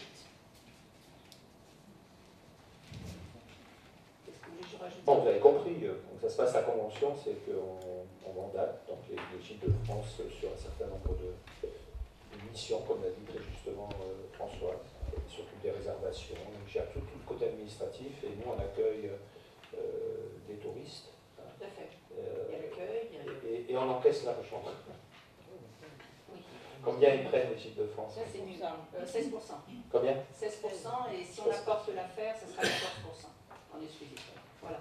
Je voulais, si vous pouvez me permettre, Monsieur le maire, je voudrais rajouter aussi, parce que je parlais du projet d'itinérance, donc ça avait le besoin d'hébergement, mais je tenais aussi à préciser sur le métropolitain, depuis le mois de mai 2019, ils ont reçu la notification de classement en catégorie 1, donc c'est le Graal de la catégorie euh, pour, euh, pour le métropolitain, c'est une reconnaissance sur le tourisme. Donc euh, c'était important de, pouvoir faire une cohérence et l'homogénéité avec avec tout l'ensemble des 49 communes. Donc on va bénéficier de la, catégorie 1, ce qui va permettre à la commune de Carrosse de demander un classement en commune touristique. Euh, ça demandera un an parce que le, préfet, euh, l'administration française étant toujours très, très rapide, donc ça va demander un an. Et à la suite de ça, euh, donc ça ne va pas nous apporter spécialement quelque chose en tant que commune touristique, quelques, oui, quelques avantages, mais pas grand chose. Mais ce qui va nous permettre aussi, malheureusement, euh, c'est une étape euh, où on doit passer par, euh, par la commune touristique par le classement, c'est d'obtenir dans, dans, le futur, après l'année qu'on aura déposée et l'acceptation du préfet, c'est de placer station en, en place touristique. Voilà, ça c'est gros avantage, euh, parce que la commune touristique donc, demande trois critères, donc c'est le classement en catégorie 1 qu'on a obtenu grâce à l'hôtel métropolitain, c'est euh, les activités culturelles et c'est l'hébergement à nouveau euh, dans les critères. Et quand on passera à classement tourisme, donc c'est aussi le, le graal du, tourisme, si on l'obtient, bah, il y a quand même 45 critères à respecter. Donc voilà, on en parlera un petit peu plus tard. C'est bien d'aller de relever des défis comme on essaye de relever le défi de la troisième fleur. Donc on va, on va croiser les doigts. On va l'avoir. Jean-Louis, c'est quel jour le jury? Le jeudi prochain. 25. Mais on l'aura, les gens Voilà, donc monsieur le maire. Euh, Allez, on va voter.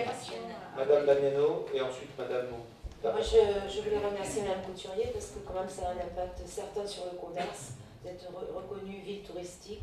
Donc on est en train d'étudier ça avec Françoise, donc je ne peux pas vous en parler ce soir mais apparemment c'est très favorable pour le commerce. Voilà, donc je veux vous remercier de votre travail, Madame Couturier. Merci, Madame Daragon. Oui, merci Monsieur le maire. D'abord, j'avais une interrogation, vous vous souvenez, quand on en avait déjà parlé de ce projet de, créer des gîtes, je me demandais si c'était vraiment la vocation de la commune de, faire ça, et puis surtout, il n'y a pas de, carence de l'initiative privée en la matière, il y, a, des choses qui existent autour du village, pas dans le village, mais autour du village. Donc c'était un peu mon, interrogation. Et moi, ce que je me suis, je me suis demandé, c'est est-ce que les gens du village ont été consultés? Est-ce qu'il y a eu une consultation qui a été organisée autour de ce projet au village? Ah, c'est un projet. Je, pose la question. C'est un projet dont on parle. C'est simple, c'est oui ou non? Non, mais il n'y a pas eu d'impact par rapport au village. On n'a pas consulté les habitants du village euh, sur, tous nos projets. Là, il n'y a pas d'impact par rapport à eux. Au contraire, il va y avoir euh, une animation supplémentaire. Euh, donc il y a des touristes qui vont venir, qui vont fréquenter euh, les pizzerias, les, les restaurants, de etc. etc. C'est un réel Alors juste, attends François, juste par rapport à pourquoi est-ce que c'est est-ce que c'est est-ce que c'est est-ce que c'est une initiative communale? Peut se poser la question effectivement, hein, mais on n'est pas les premiers à avoir des gîtes communaux. Ça existe partout. Hein. Euh, moi je vais juste vous donner un exemple. Hein. Dernièrement, très ça me concernait, ça concernait euh, les proches. Les membres de la famille voulaient venir à Carrosse pour voir euh, la famille. Donc ils ont regardé, tous les gîtes étaient tous complets. tout était complet partout. Donc euh, vous, pouvez, venir nulle part. J'ai consulté les autres gîtes en disant, ben non, on est tous complets, les plans étaient complets, le village était complet, tout le monde était complet. Donc il y a une forte demande et on n'arrive pas à répondre à cette demande. Et notre rôle, c'est bien sûr aider les privés si nécessaire, mais euh, prendre l'initiative, comme on l'a fait pour la Forge. Hein. Il n'y avait pas de restaurant. Hein. Si la mairie n'avait pas acheté les locaux de la Forge, on n'aurait pas eu ce restaurant. Euh, on fait la même chose avec euh, la grange de Mérélou. On l'achète parce qu'on a cette ambition de vouloir développer encore gîtes, hein, et pourquoi pas d'autres activités qui, qui permettent d'avoir un petit peu plus de touristes et surtout et elle a raison, de faire rentrer de l'argent. J'arrête pas de vous le dire. Hein. Notre politique, c'est de, faire des investissements productifs, c'est-à-dire qui génèrent de nouvelles recettes. Vous savez combien, euh, enfin, quel prix nous ont dit là sur le gîte la semaine, le 4, le 4 épis En saison, ça sera entre 1000 et 1200 sur le gîte par Paris, de la villa par Paris. Minimum, c'est 1000 euros. le, château. Non, l'autre là, c'est 1000 euros la semaine hein, en, période. Euh, eh oui, mais on a besoin de générer ces, recettes, quoi. sans compter les, les effets euh, induits sur le commerce local. Un village qui se meurt, c'est le commerce qui meurt, hein, les restaurants qui se meurent, etc. C'est bon, j'ai répondu à votre question Vous n'êtes toujours pas convaincu Je pense que pallie l'initiative privée et je trouve non, ça pas tard, on vient en plus de l'initiative privée. Donc on enlève des clients privés. On n'enlève rien, on n'enlève aucun client au privé. À ceux-là, ils ont été tous consultés par contre. Les gîtes existants, ils ont été consultés. La, la famille, euh, mais ce sont eux qui nous ont dit que ça, euh, aucun problème, ils sont complets toute l'année. Donc, euh. Parce que le problème qui se pose sur le, village, c'est que moi je revendique le, patrimoine parce qu'il est vraiment assez exceptionnel sur le village. Et ce qu'il y a, c'est un, village mort. C'est un village dortoir parce qu'il y a de plus en plus ah, de jeunes qui partent le matin. Non, mais moi, je peux le dire. C'est un, un, village qui part le matin et rentre le soir. Ça veut dire que si on a un patrimoine aussi exceptionnel, que ce soit l'historique, religieux, tout ce qu'on peut imaginer, même dans, dans, la verdure et la nature et avec les randonnées, je veux dire, il y a une forte demande, et on peut le dire, une forte demande sur l'office du tourisme. Et on ne peut pas répondre dans la mesure où sur le village, il n'y a que la vachasse, c'est sur Alfredo avec trois chambres, et il y a euh, une villa au Goubet, c'est tout ce qu'il y a. Et au-delà de ça, je veux dire, il y a même des gens qui ont, qui ont des chambres d'hôtes, quand tu parlais de privé, il y a des chambres d'hôtes qui ne sont même pas déclarées euh, à l'Office du tourisme de taxe de séjour. Donc euh, tout le monde le sait, moi quand j'ai vu Alfredo, parce que je crois qu'il a été le premier concerté et, consulté euh, il y a deux ans, il m'a dit mais vas-y parce que c'est un réel problème pour nous également, parce que je veux dire, c'est pas une question de, de, de, dire que, voilà, c'est qu'on en a vraiment besoin. Donc on veut développer, mais si on ne peut pas développer parce qu'il n'y a pas d'hébergement, et de toute façon le projet d'itinérance, on était sorti de la course si on ne faisait pas d'hébergement. Donc c'est même pas la peine de continuer à faire. On a eu des fonds européens par rapport à ça. S'il n'y a pas, euh, s'il y a un projet d'itinérance de 10 communes et qu'on n'a pas d'hébergement, c'est même pas la peine de continuer. Voilà, vous savez, si vous voulez étayer et renforcer la fréquentation touristique, il faut offrir des places d'hébergement. Et on ne peut pas dire, dès qu'on offre une place d'hébergement, ah ben non, on va faire une concurrence interne. C'est pas comme ça que ça se passe. Au contraire, ça fait boule de neige. Et de plus en plus. Euh, plus on développe cet aspect touristique de notre, de notre village, plus il y aura de touristes. Et tout le monde sera content. le directeur nous a dit quand même sur les gîtes de France lundi qu'il y avait de plus en plus de communes qui faisaient des gîtes communaux. Parce qu'ils se rendent compte qu'ils ont un manque d'hébergement comme Bien sûr. Allez, qui est contre? Juste un petit mot, monsieur. Tu es contre? Si, C'est contre les gîtes? Oui. Non, pas ça. Alors vous êtes contre les gîtes parce que ça fait de la concurrence aux gîtes existants, c'est ça? Exprimez votre point de vue, s'il vous plaît. Je viens, monsieur le maire, je viens d'expliquer qu'on trouvait que ce n'était pas une, vocation de la commune de faire ça. Voilà, on vient d'expliquer, j'ai entendu hein, les remarques, etc. Mais pour nous, euh, c'est pas la commune. Donc on ne fait rien. Je pas dit qu'on fait bah, S'il n'y a pas de privé ça n'est pas, ça n'est pas le domaine d'intervention de la commune. Bien sûr. Voilà, tout simplement. Moi, ça fait partie du domaine d'intervention de la commune lorsque la commune cherche à valoriser et à vitaliser un secteur qui est celui du tourisme et relancer l'hébergement. Euh, dans ce cas, on ne fait rien. C'est facile d'être vert sans rien faire. Alors là, franchement, euh, on est tranquille hein, et on ne fait rien. C'est très décevant. C'est pas grave. Mais c'est bien que les, points de vue s'expriment. Hein. Euh, Monsieur Doris. Oui, j'ai un petit mot sur le sujet. Donc, euh, je suis souvent d'accord avec, mes collègues du groupe d'opposition, mais là, on va avoir un désaccord. Je, pense que vos, orientations en matière touristique, elles sont bonnes. Déjà, pour deux raisons. Parce que, déjà, effectivement, on est dans un pays euh, de libre concurrence. Donc, si, la, si une, municipalité veut, veut, concurrencer le privé, de toute façon, c'est légal. Tant qu'éprouver qu'il y aurait concurrence. Mais de toute façon, aujourd'hui, la réalité euh, à laquelle on assiste, et notamment dans, certaines grandes villes comme à Paris et des, communes comme la, comme la, nôtre peuvent demain être touchées, c'est qu'aujourd'hui, c'est tellement attractif le, saisonnier, la location à la nuitée, c'est qu'on a de plus en plus aujourd'hui de propriétaires qui achètent pour faire du Airbnb. Et quelque part, et quelque part euh, bah, que la commune puisse proposer euh, ce type d'hébergement, on peut peut-être justement s'éviter le risque demain d'avoir des, euh, des purs euh, financiers qui viennent ici acheter des apparts qui resteront inoccupés et qui feront, ils feront que du, saisonnier dessus et euh, des difficultés terribles demain pour, pouvoir se loger à Carreau. Donc de ce point de vue-là, moi je trouve que c'est plutôt une très bonne initiative et on, l'accompagnera, même si voilà, j'entends les, avis des uns et des autres, mais je pense, que c'est une très bonne orientation. Je félicite Madame Couturier pour, pour, pour ce choix je vois que vous vous rapprochez de plus en plus de la majorité dans vos, positions. Hein. J'essaye d'être objectif et donc, euh, comme, comme j'ai toujours fait, j'ai toujours fait depuis, euh, depuis euh, l'ensemble du mandat, quand il y a des... Pas, toujours, mais ça fait rien.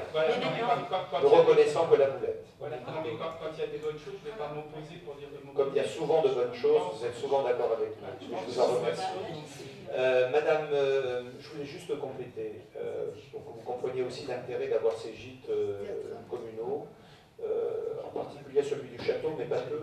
Hein. On signe une convention aussi avec les Gîtes de France. Et dans cette convention, il est prévu que pendant deux mois et demi, les gîtes vont servir à des résidences d'artistes. Donc vous voyez donc aussi l'intérêt d'avoir des gîtes communaux. Et les- le gîte qu'on va, qu'on va réaliser, la résidence d'artistes qu'on va réaliser à la Villa Barbarie, euh, on va faire l'inverse, c'est-à-dire qu'on va la mettre dans les gîtes de France aussi, mais avec une utilisation, euh, l'utilisation principale sera la résidence d'artistes. Et le reste du temps, euh, ben, elle sera louée à des particuliers. Donc ça vient en complément. Oui. Oui, euh, Françoise a, parlé, tu as parlé du grand parcours débat, mais je voudrais ins- insister un petit peu plus encore sur le PNR parce que ça s'inscrit complètement aussi dans euh, toutes les, orientations du PNR de développer le tourisme dans le, PNR avec tous les parcours d'itinérance parce qu'il y a le grand parcours débat, il y a le grand parcours du PNR aussi. Et c'est un problème crucial sur tout le, PNR, la question de l'hébergement. Donc je crois qu'on participe aussi en, mettant en place les gîtes et euh, les parcours d'itinérance, les parcours de randonnée au développement du, PNR, avec lequel on travaillait d'ailleurs encore ce matin, euh, puisqu'on est finalement au total bien impliqué dans, dans le fonctionnement du PNR. Merci pour ces compléments. Et encore, je ne sais pas si je l'ai dit ou pas, euh, les deux mois et demi, c'est pour le forum Jacques Prévert, C'est que pour le, pour le les forum. résidences d'artistes. Si ça, vous, si ça vous a permis de changer de point de vue, je Non, passe au vote ou vous maintenez Ok, vous maintenez. Euh, donc, euh, on n'a pas voté. hein, Alors, qui est contre Paul aussi? Euh,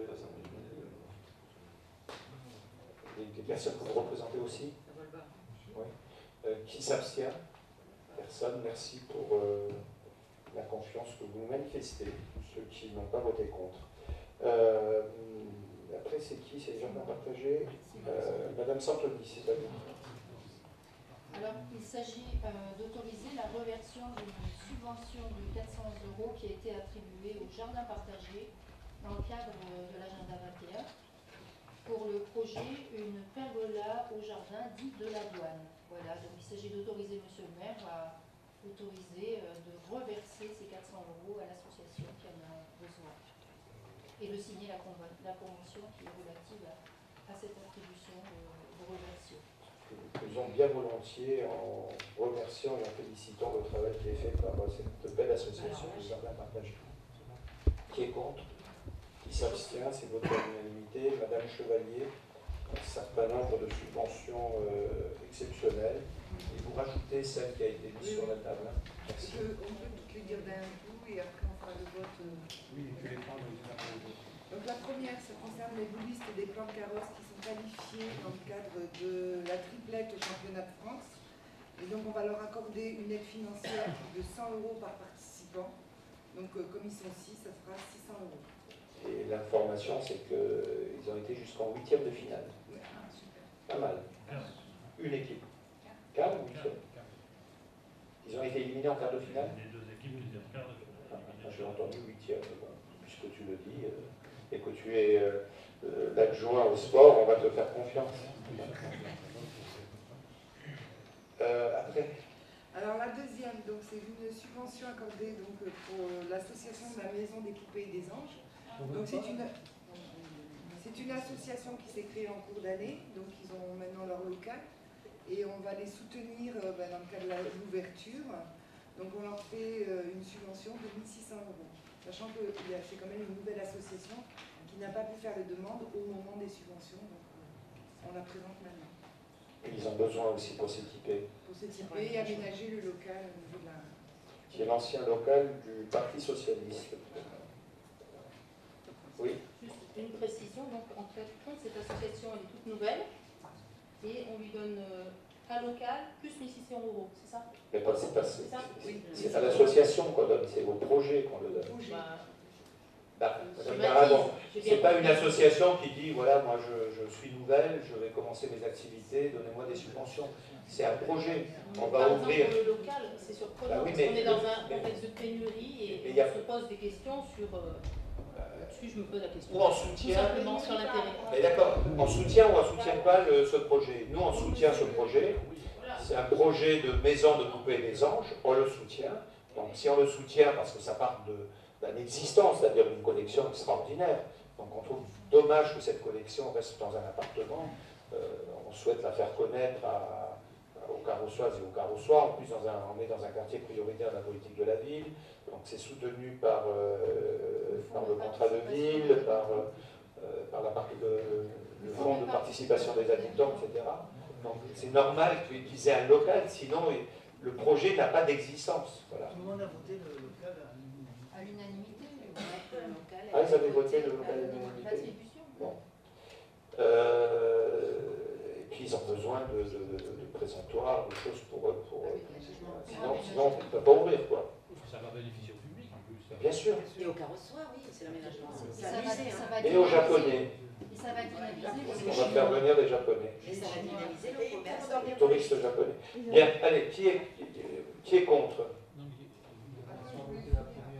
Ah, mais excuse-moi. Euh, Alors la troisième, c'est dans le cadre du projet donc, qui se fait avec l'association Objectif Photo et le, la classe orchestre du, de l'école Spinelli.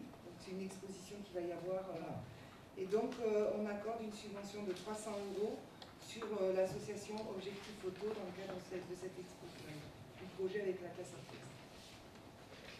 Des interventions juste par rapport à la pénurie de locaux, je voulais juste vous dire, Madame d'Aragon, que euh, à la date d'aujourd'hui, je crois qu'on a euh, répondu aux besoins de quasiment toutes les associations en matière de locaux.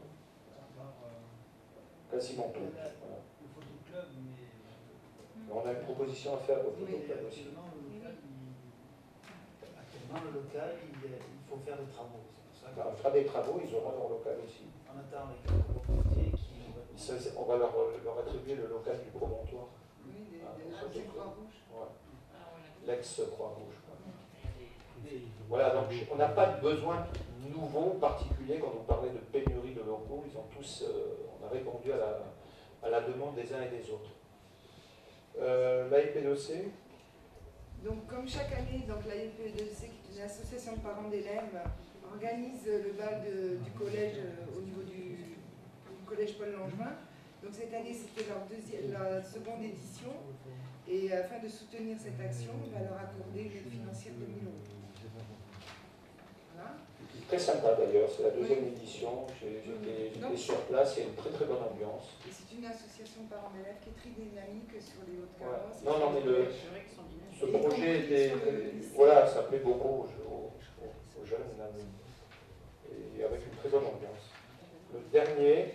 Alors la dernière euh, délibération, ça concerne le, nouveau comité des fêtes qui s'est créé au plan. Donc ils sont intervenus pour la première fois dans le cadre du 14 juillet, mais qui ont des projets dans le cadre d'animer un peu euh, les quartiers Saint-Pierre et, et, les plans de carrosse. Donc pareil, c'est des associations qui n'ont pas pu faire des demandes de subvention au moment des demandes de subvention parce qu'elles n'étaient pas créées. Et là, on va leur accorder une subvention exceptionnelle de 700 euros. Donc pour les accompagner déjà sur l'action du, du 14 juillet. Bon, qui leur a pas porté chance. Il y a eu un problème le 14 voilà. juillet, c'est qu'il a plu quoi. Voilà. Ils avaient, Mais euh... en même temps pour les soutenir sur le reste de, de leurs actions qu'ils vont mener d'ici la fin d'année. C'était bien parti le 14 juillet, ils avaient acheté euh, des denrées, euh, ils ont demandé à l'ancien comité. Non, mais ils ne comptaient pas du tout demander de subvention cette année. Non, mais je sais, ils ne voulaient pas demander de subvention. Mais là, bon, ils n'ont pas pu faire. La... Ah, ils n'ont pas vendu, ils n'ont rien vendu puisqu'on a dû arrêter. Ils une aide pour pouvoir après intervenir sur le restant de la saison. Donc on ne va pas les laisser dans, dans, dans, les difficultés. Ils se sont proposés d'animer le 14 juillet. La moindre des choses, c'est de les accompagner, de les soutenir. Des, questions, des interventions Non. Allez, on va procéder au vote. Le 8, 1. Subvention pour l'amical bouliste. Qui est contre Qui s'abstient Unanimité. L'association La Maison de la Poupée et des Anges. Qui est contre Madame Daragon Qui s'abstient Vous vous abstenez euh, les autres, merci pour votre vote. Le 8.3, le code O, subvention exceptionnelle très beau projet là, avec la classe orchestre, qui est contre, qui s'abstient, unanimité. La MP2C, euh, la deuxième édition du bal de promo, les troisièmes, qui est contre, qui s'abstient, unanimité. Et le dernier point concerne la subvention exceptionnelle au comité des fêtes des plans pour le- la fête du 14 juillet, qui est contre Madame euh. Je voulais juste savoir euh, les prix que vous avez eus, c'était sur de l'alimentaire Oui. des l'alimentaire, oui. Sur les 700, euh, c'est combien demandent 750 je crois, c'est ça 700. C'est que l'alimentaire. Ils ont dépensé 1500 euros. Je trouve que c'est quand même euh, une grosse somme. Bah oui, mais Parce que quand on prévoit une manifestation, euh, bon, les boissons, ça se récupère. Certaines choses, on peut éventuellement congeler, mais voilà, il ne faut pas non plus. euh. Ils ont demandé, ils ont pris conseil auprès de l'ancienne association, c'est-à-dire l'ancien comité des fêtes, et ils ont repris exactement ce qu'avait commandé dans le comité des fêtes. Voilà. Il se trouve que là, il a plu, donc ils n'ont rien vendu. hein. Je crois que euh, ont dépensé euh, 1500 euros. Bon, il y a une partie qui récupère tout ce qui est boisson, donc c'est pas perdu ça. hein. Euh, mais malheureusement, tout ce qui est denrées alimentaires, euh. Voilà, et ils ont, parce que moi aussi ai posé la question, j'ai dit mais comment vous avez fait ben, On a demandé euh, à l'ancien comité des fêtes comment, ils procédaient, qu'est-ce qu'ils dépensaient.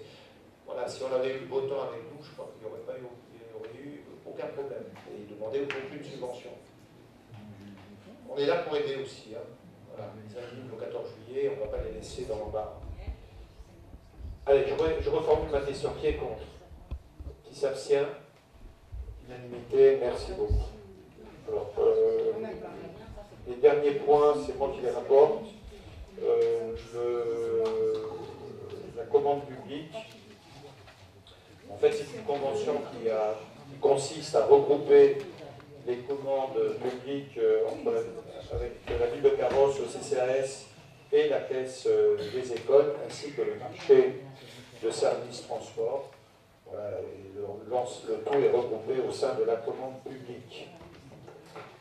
Rien de particulier, c'est simplement une convention qui est contre, qui s'abstient, c'est voté à l'unanimité. Le point euh, sur euh, le fonds de concours, on a voté. Alors, les décisions du maire, hein. on va essayer de les retrouver. La première concerne le renouvellement de notre demande d'attribution de subvention auprès de l'Agence nationale pour la cohésion sociale concernant euh, les équipements de la police municipale en gilet par balle. La deuxième, euh, c'est toujours, euh, la deuxième, c'est une mise à disposition précaire de la salle des fêtes des Blancs, d'ailleurs, à ce comité des fêtes dont on vient de parler. La troisième concerne une décision des en justice avec le syndicat des copropriétés d'immeubles promontoires et la commune de Carrosse. La quatrième, c'est la demande d'attribution de subvention auprès du conseil départemental pour des travaux de voirie et des réseauteries divers concernant la dotation cantonale 2019. Et la dernière, c'est une demande d'attribution auprès de la région euh, et auprès du conseil départemental concernant la stratégie communale de planification, de contrôle et de gestion des OLD. Vous avez des questions? Vos questions. Sinon, c'est une simple information. Il n'y a pas d'autre sujet. Je vous invite, euh, merci pour ceux qui étaient présents le 14 juillet. C'était une, très belle cérémonie. Euh, je ne veux pas polémiquer, mais je regrette que tout le monde n'ait pas pu être présent parce que je pense que le 14 juillet, c'est notre fête nationale. C'est important que nous soyons présents. Les festivités euh, à la Villa Barbarie ont démarré. Je sais que vous êtes nombreux à y participer. Ça part vraiment euh, en flèche cette année. hein. Beaucoup de monde, euh, très beaux spectacles. Et je vous invite à voir les deux prochains spectacles. Demain soir avec du jazz. Et euh, c'est demain, hein, c'est ça, vendredi. Et samedi, un spectacle extraordinaire, une comédie musicale avec Anne Carrère. Voilà. Sur ce, oui. Juste une question là pour les festivités. Effectivement, je suis allée voir les deux spectacles de Monroe qui étaient très très bien. Euh, le reste, je suppose aussi que ça va être très bien. Euh, Est-ce qu'il est possible de faire une enquête pour de carrossois qui vient à ces spectacles Ça serait intéressant parce que. Je vais le faire. C'est pas que des. C'est pas que des spectacles financés par Carole, je le sais bien, hein, mais, mais euh, été une, une- une information intéressante à avoir. Oui. Euh, on l'a déjà fait, on, doit être- on, on tourne entre. On doit être à peu près à 50% de carrossois. Euh, mais je vais le faire la prochaine fois, euh, tranquillement à main levée. les carrossois le Et donc ça nous permettra d'avoir. Non, mais on est, autour de, on est autour de 50% et ça dépend des spectacles. Je peux vous dire que les spectacles du conseil départemental, euh, il y, a davantage de personnes qui viennent de l'extérieur. On doit être autour de 40. Euh, là, le flamenco, il y avait beaucoup plus de carrossoirs, on à plus de 60-70% de carrossoirs. Donc ça dépend des spectacles. On est à plus de 60 Mais euh, c'est toujours comme ça, et moi je suis très content qu'on ait à la fois des carrossoirs et des gens qui viennent de l'extérieur. Le but c'est ça, c'est de faire rayonner Carrosse. Mais on le fera, euh, je, le ferai, euh, je prendrai le micro et je prendrai euh, les carrossoirs, manifestez-vous, les autres. La dernière fois, il y avait même des gens qui venaient de, New York, je crois, non? Non, mais sans polémiquer. Alors, on, si on rentre là-dedans, moi je ne veux pas polémiquer, pas du tout. On est très bien avec les formes. Voilà. Merci, je vous souhaite à chacune et à chacun d'entre vous de passer de bonnes vacances et peut-être de vous retrouver au spectacle demain et samedi soir. Merci.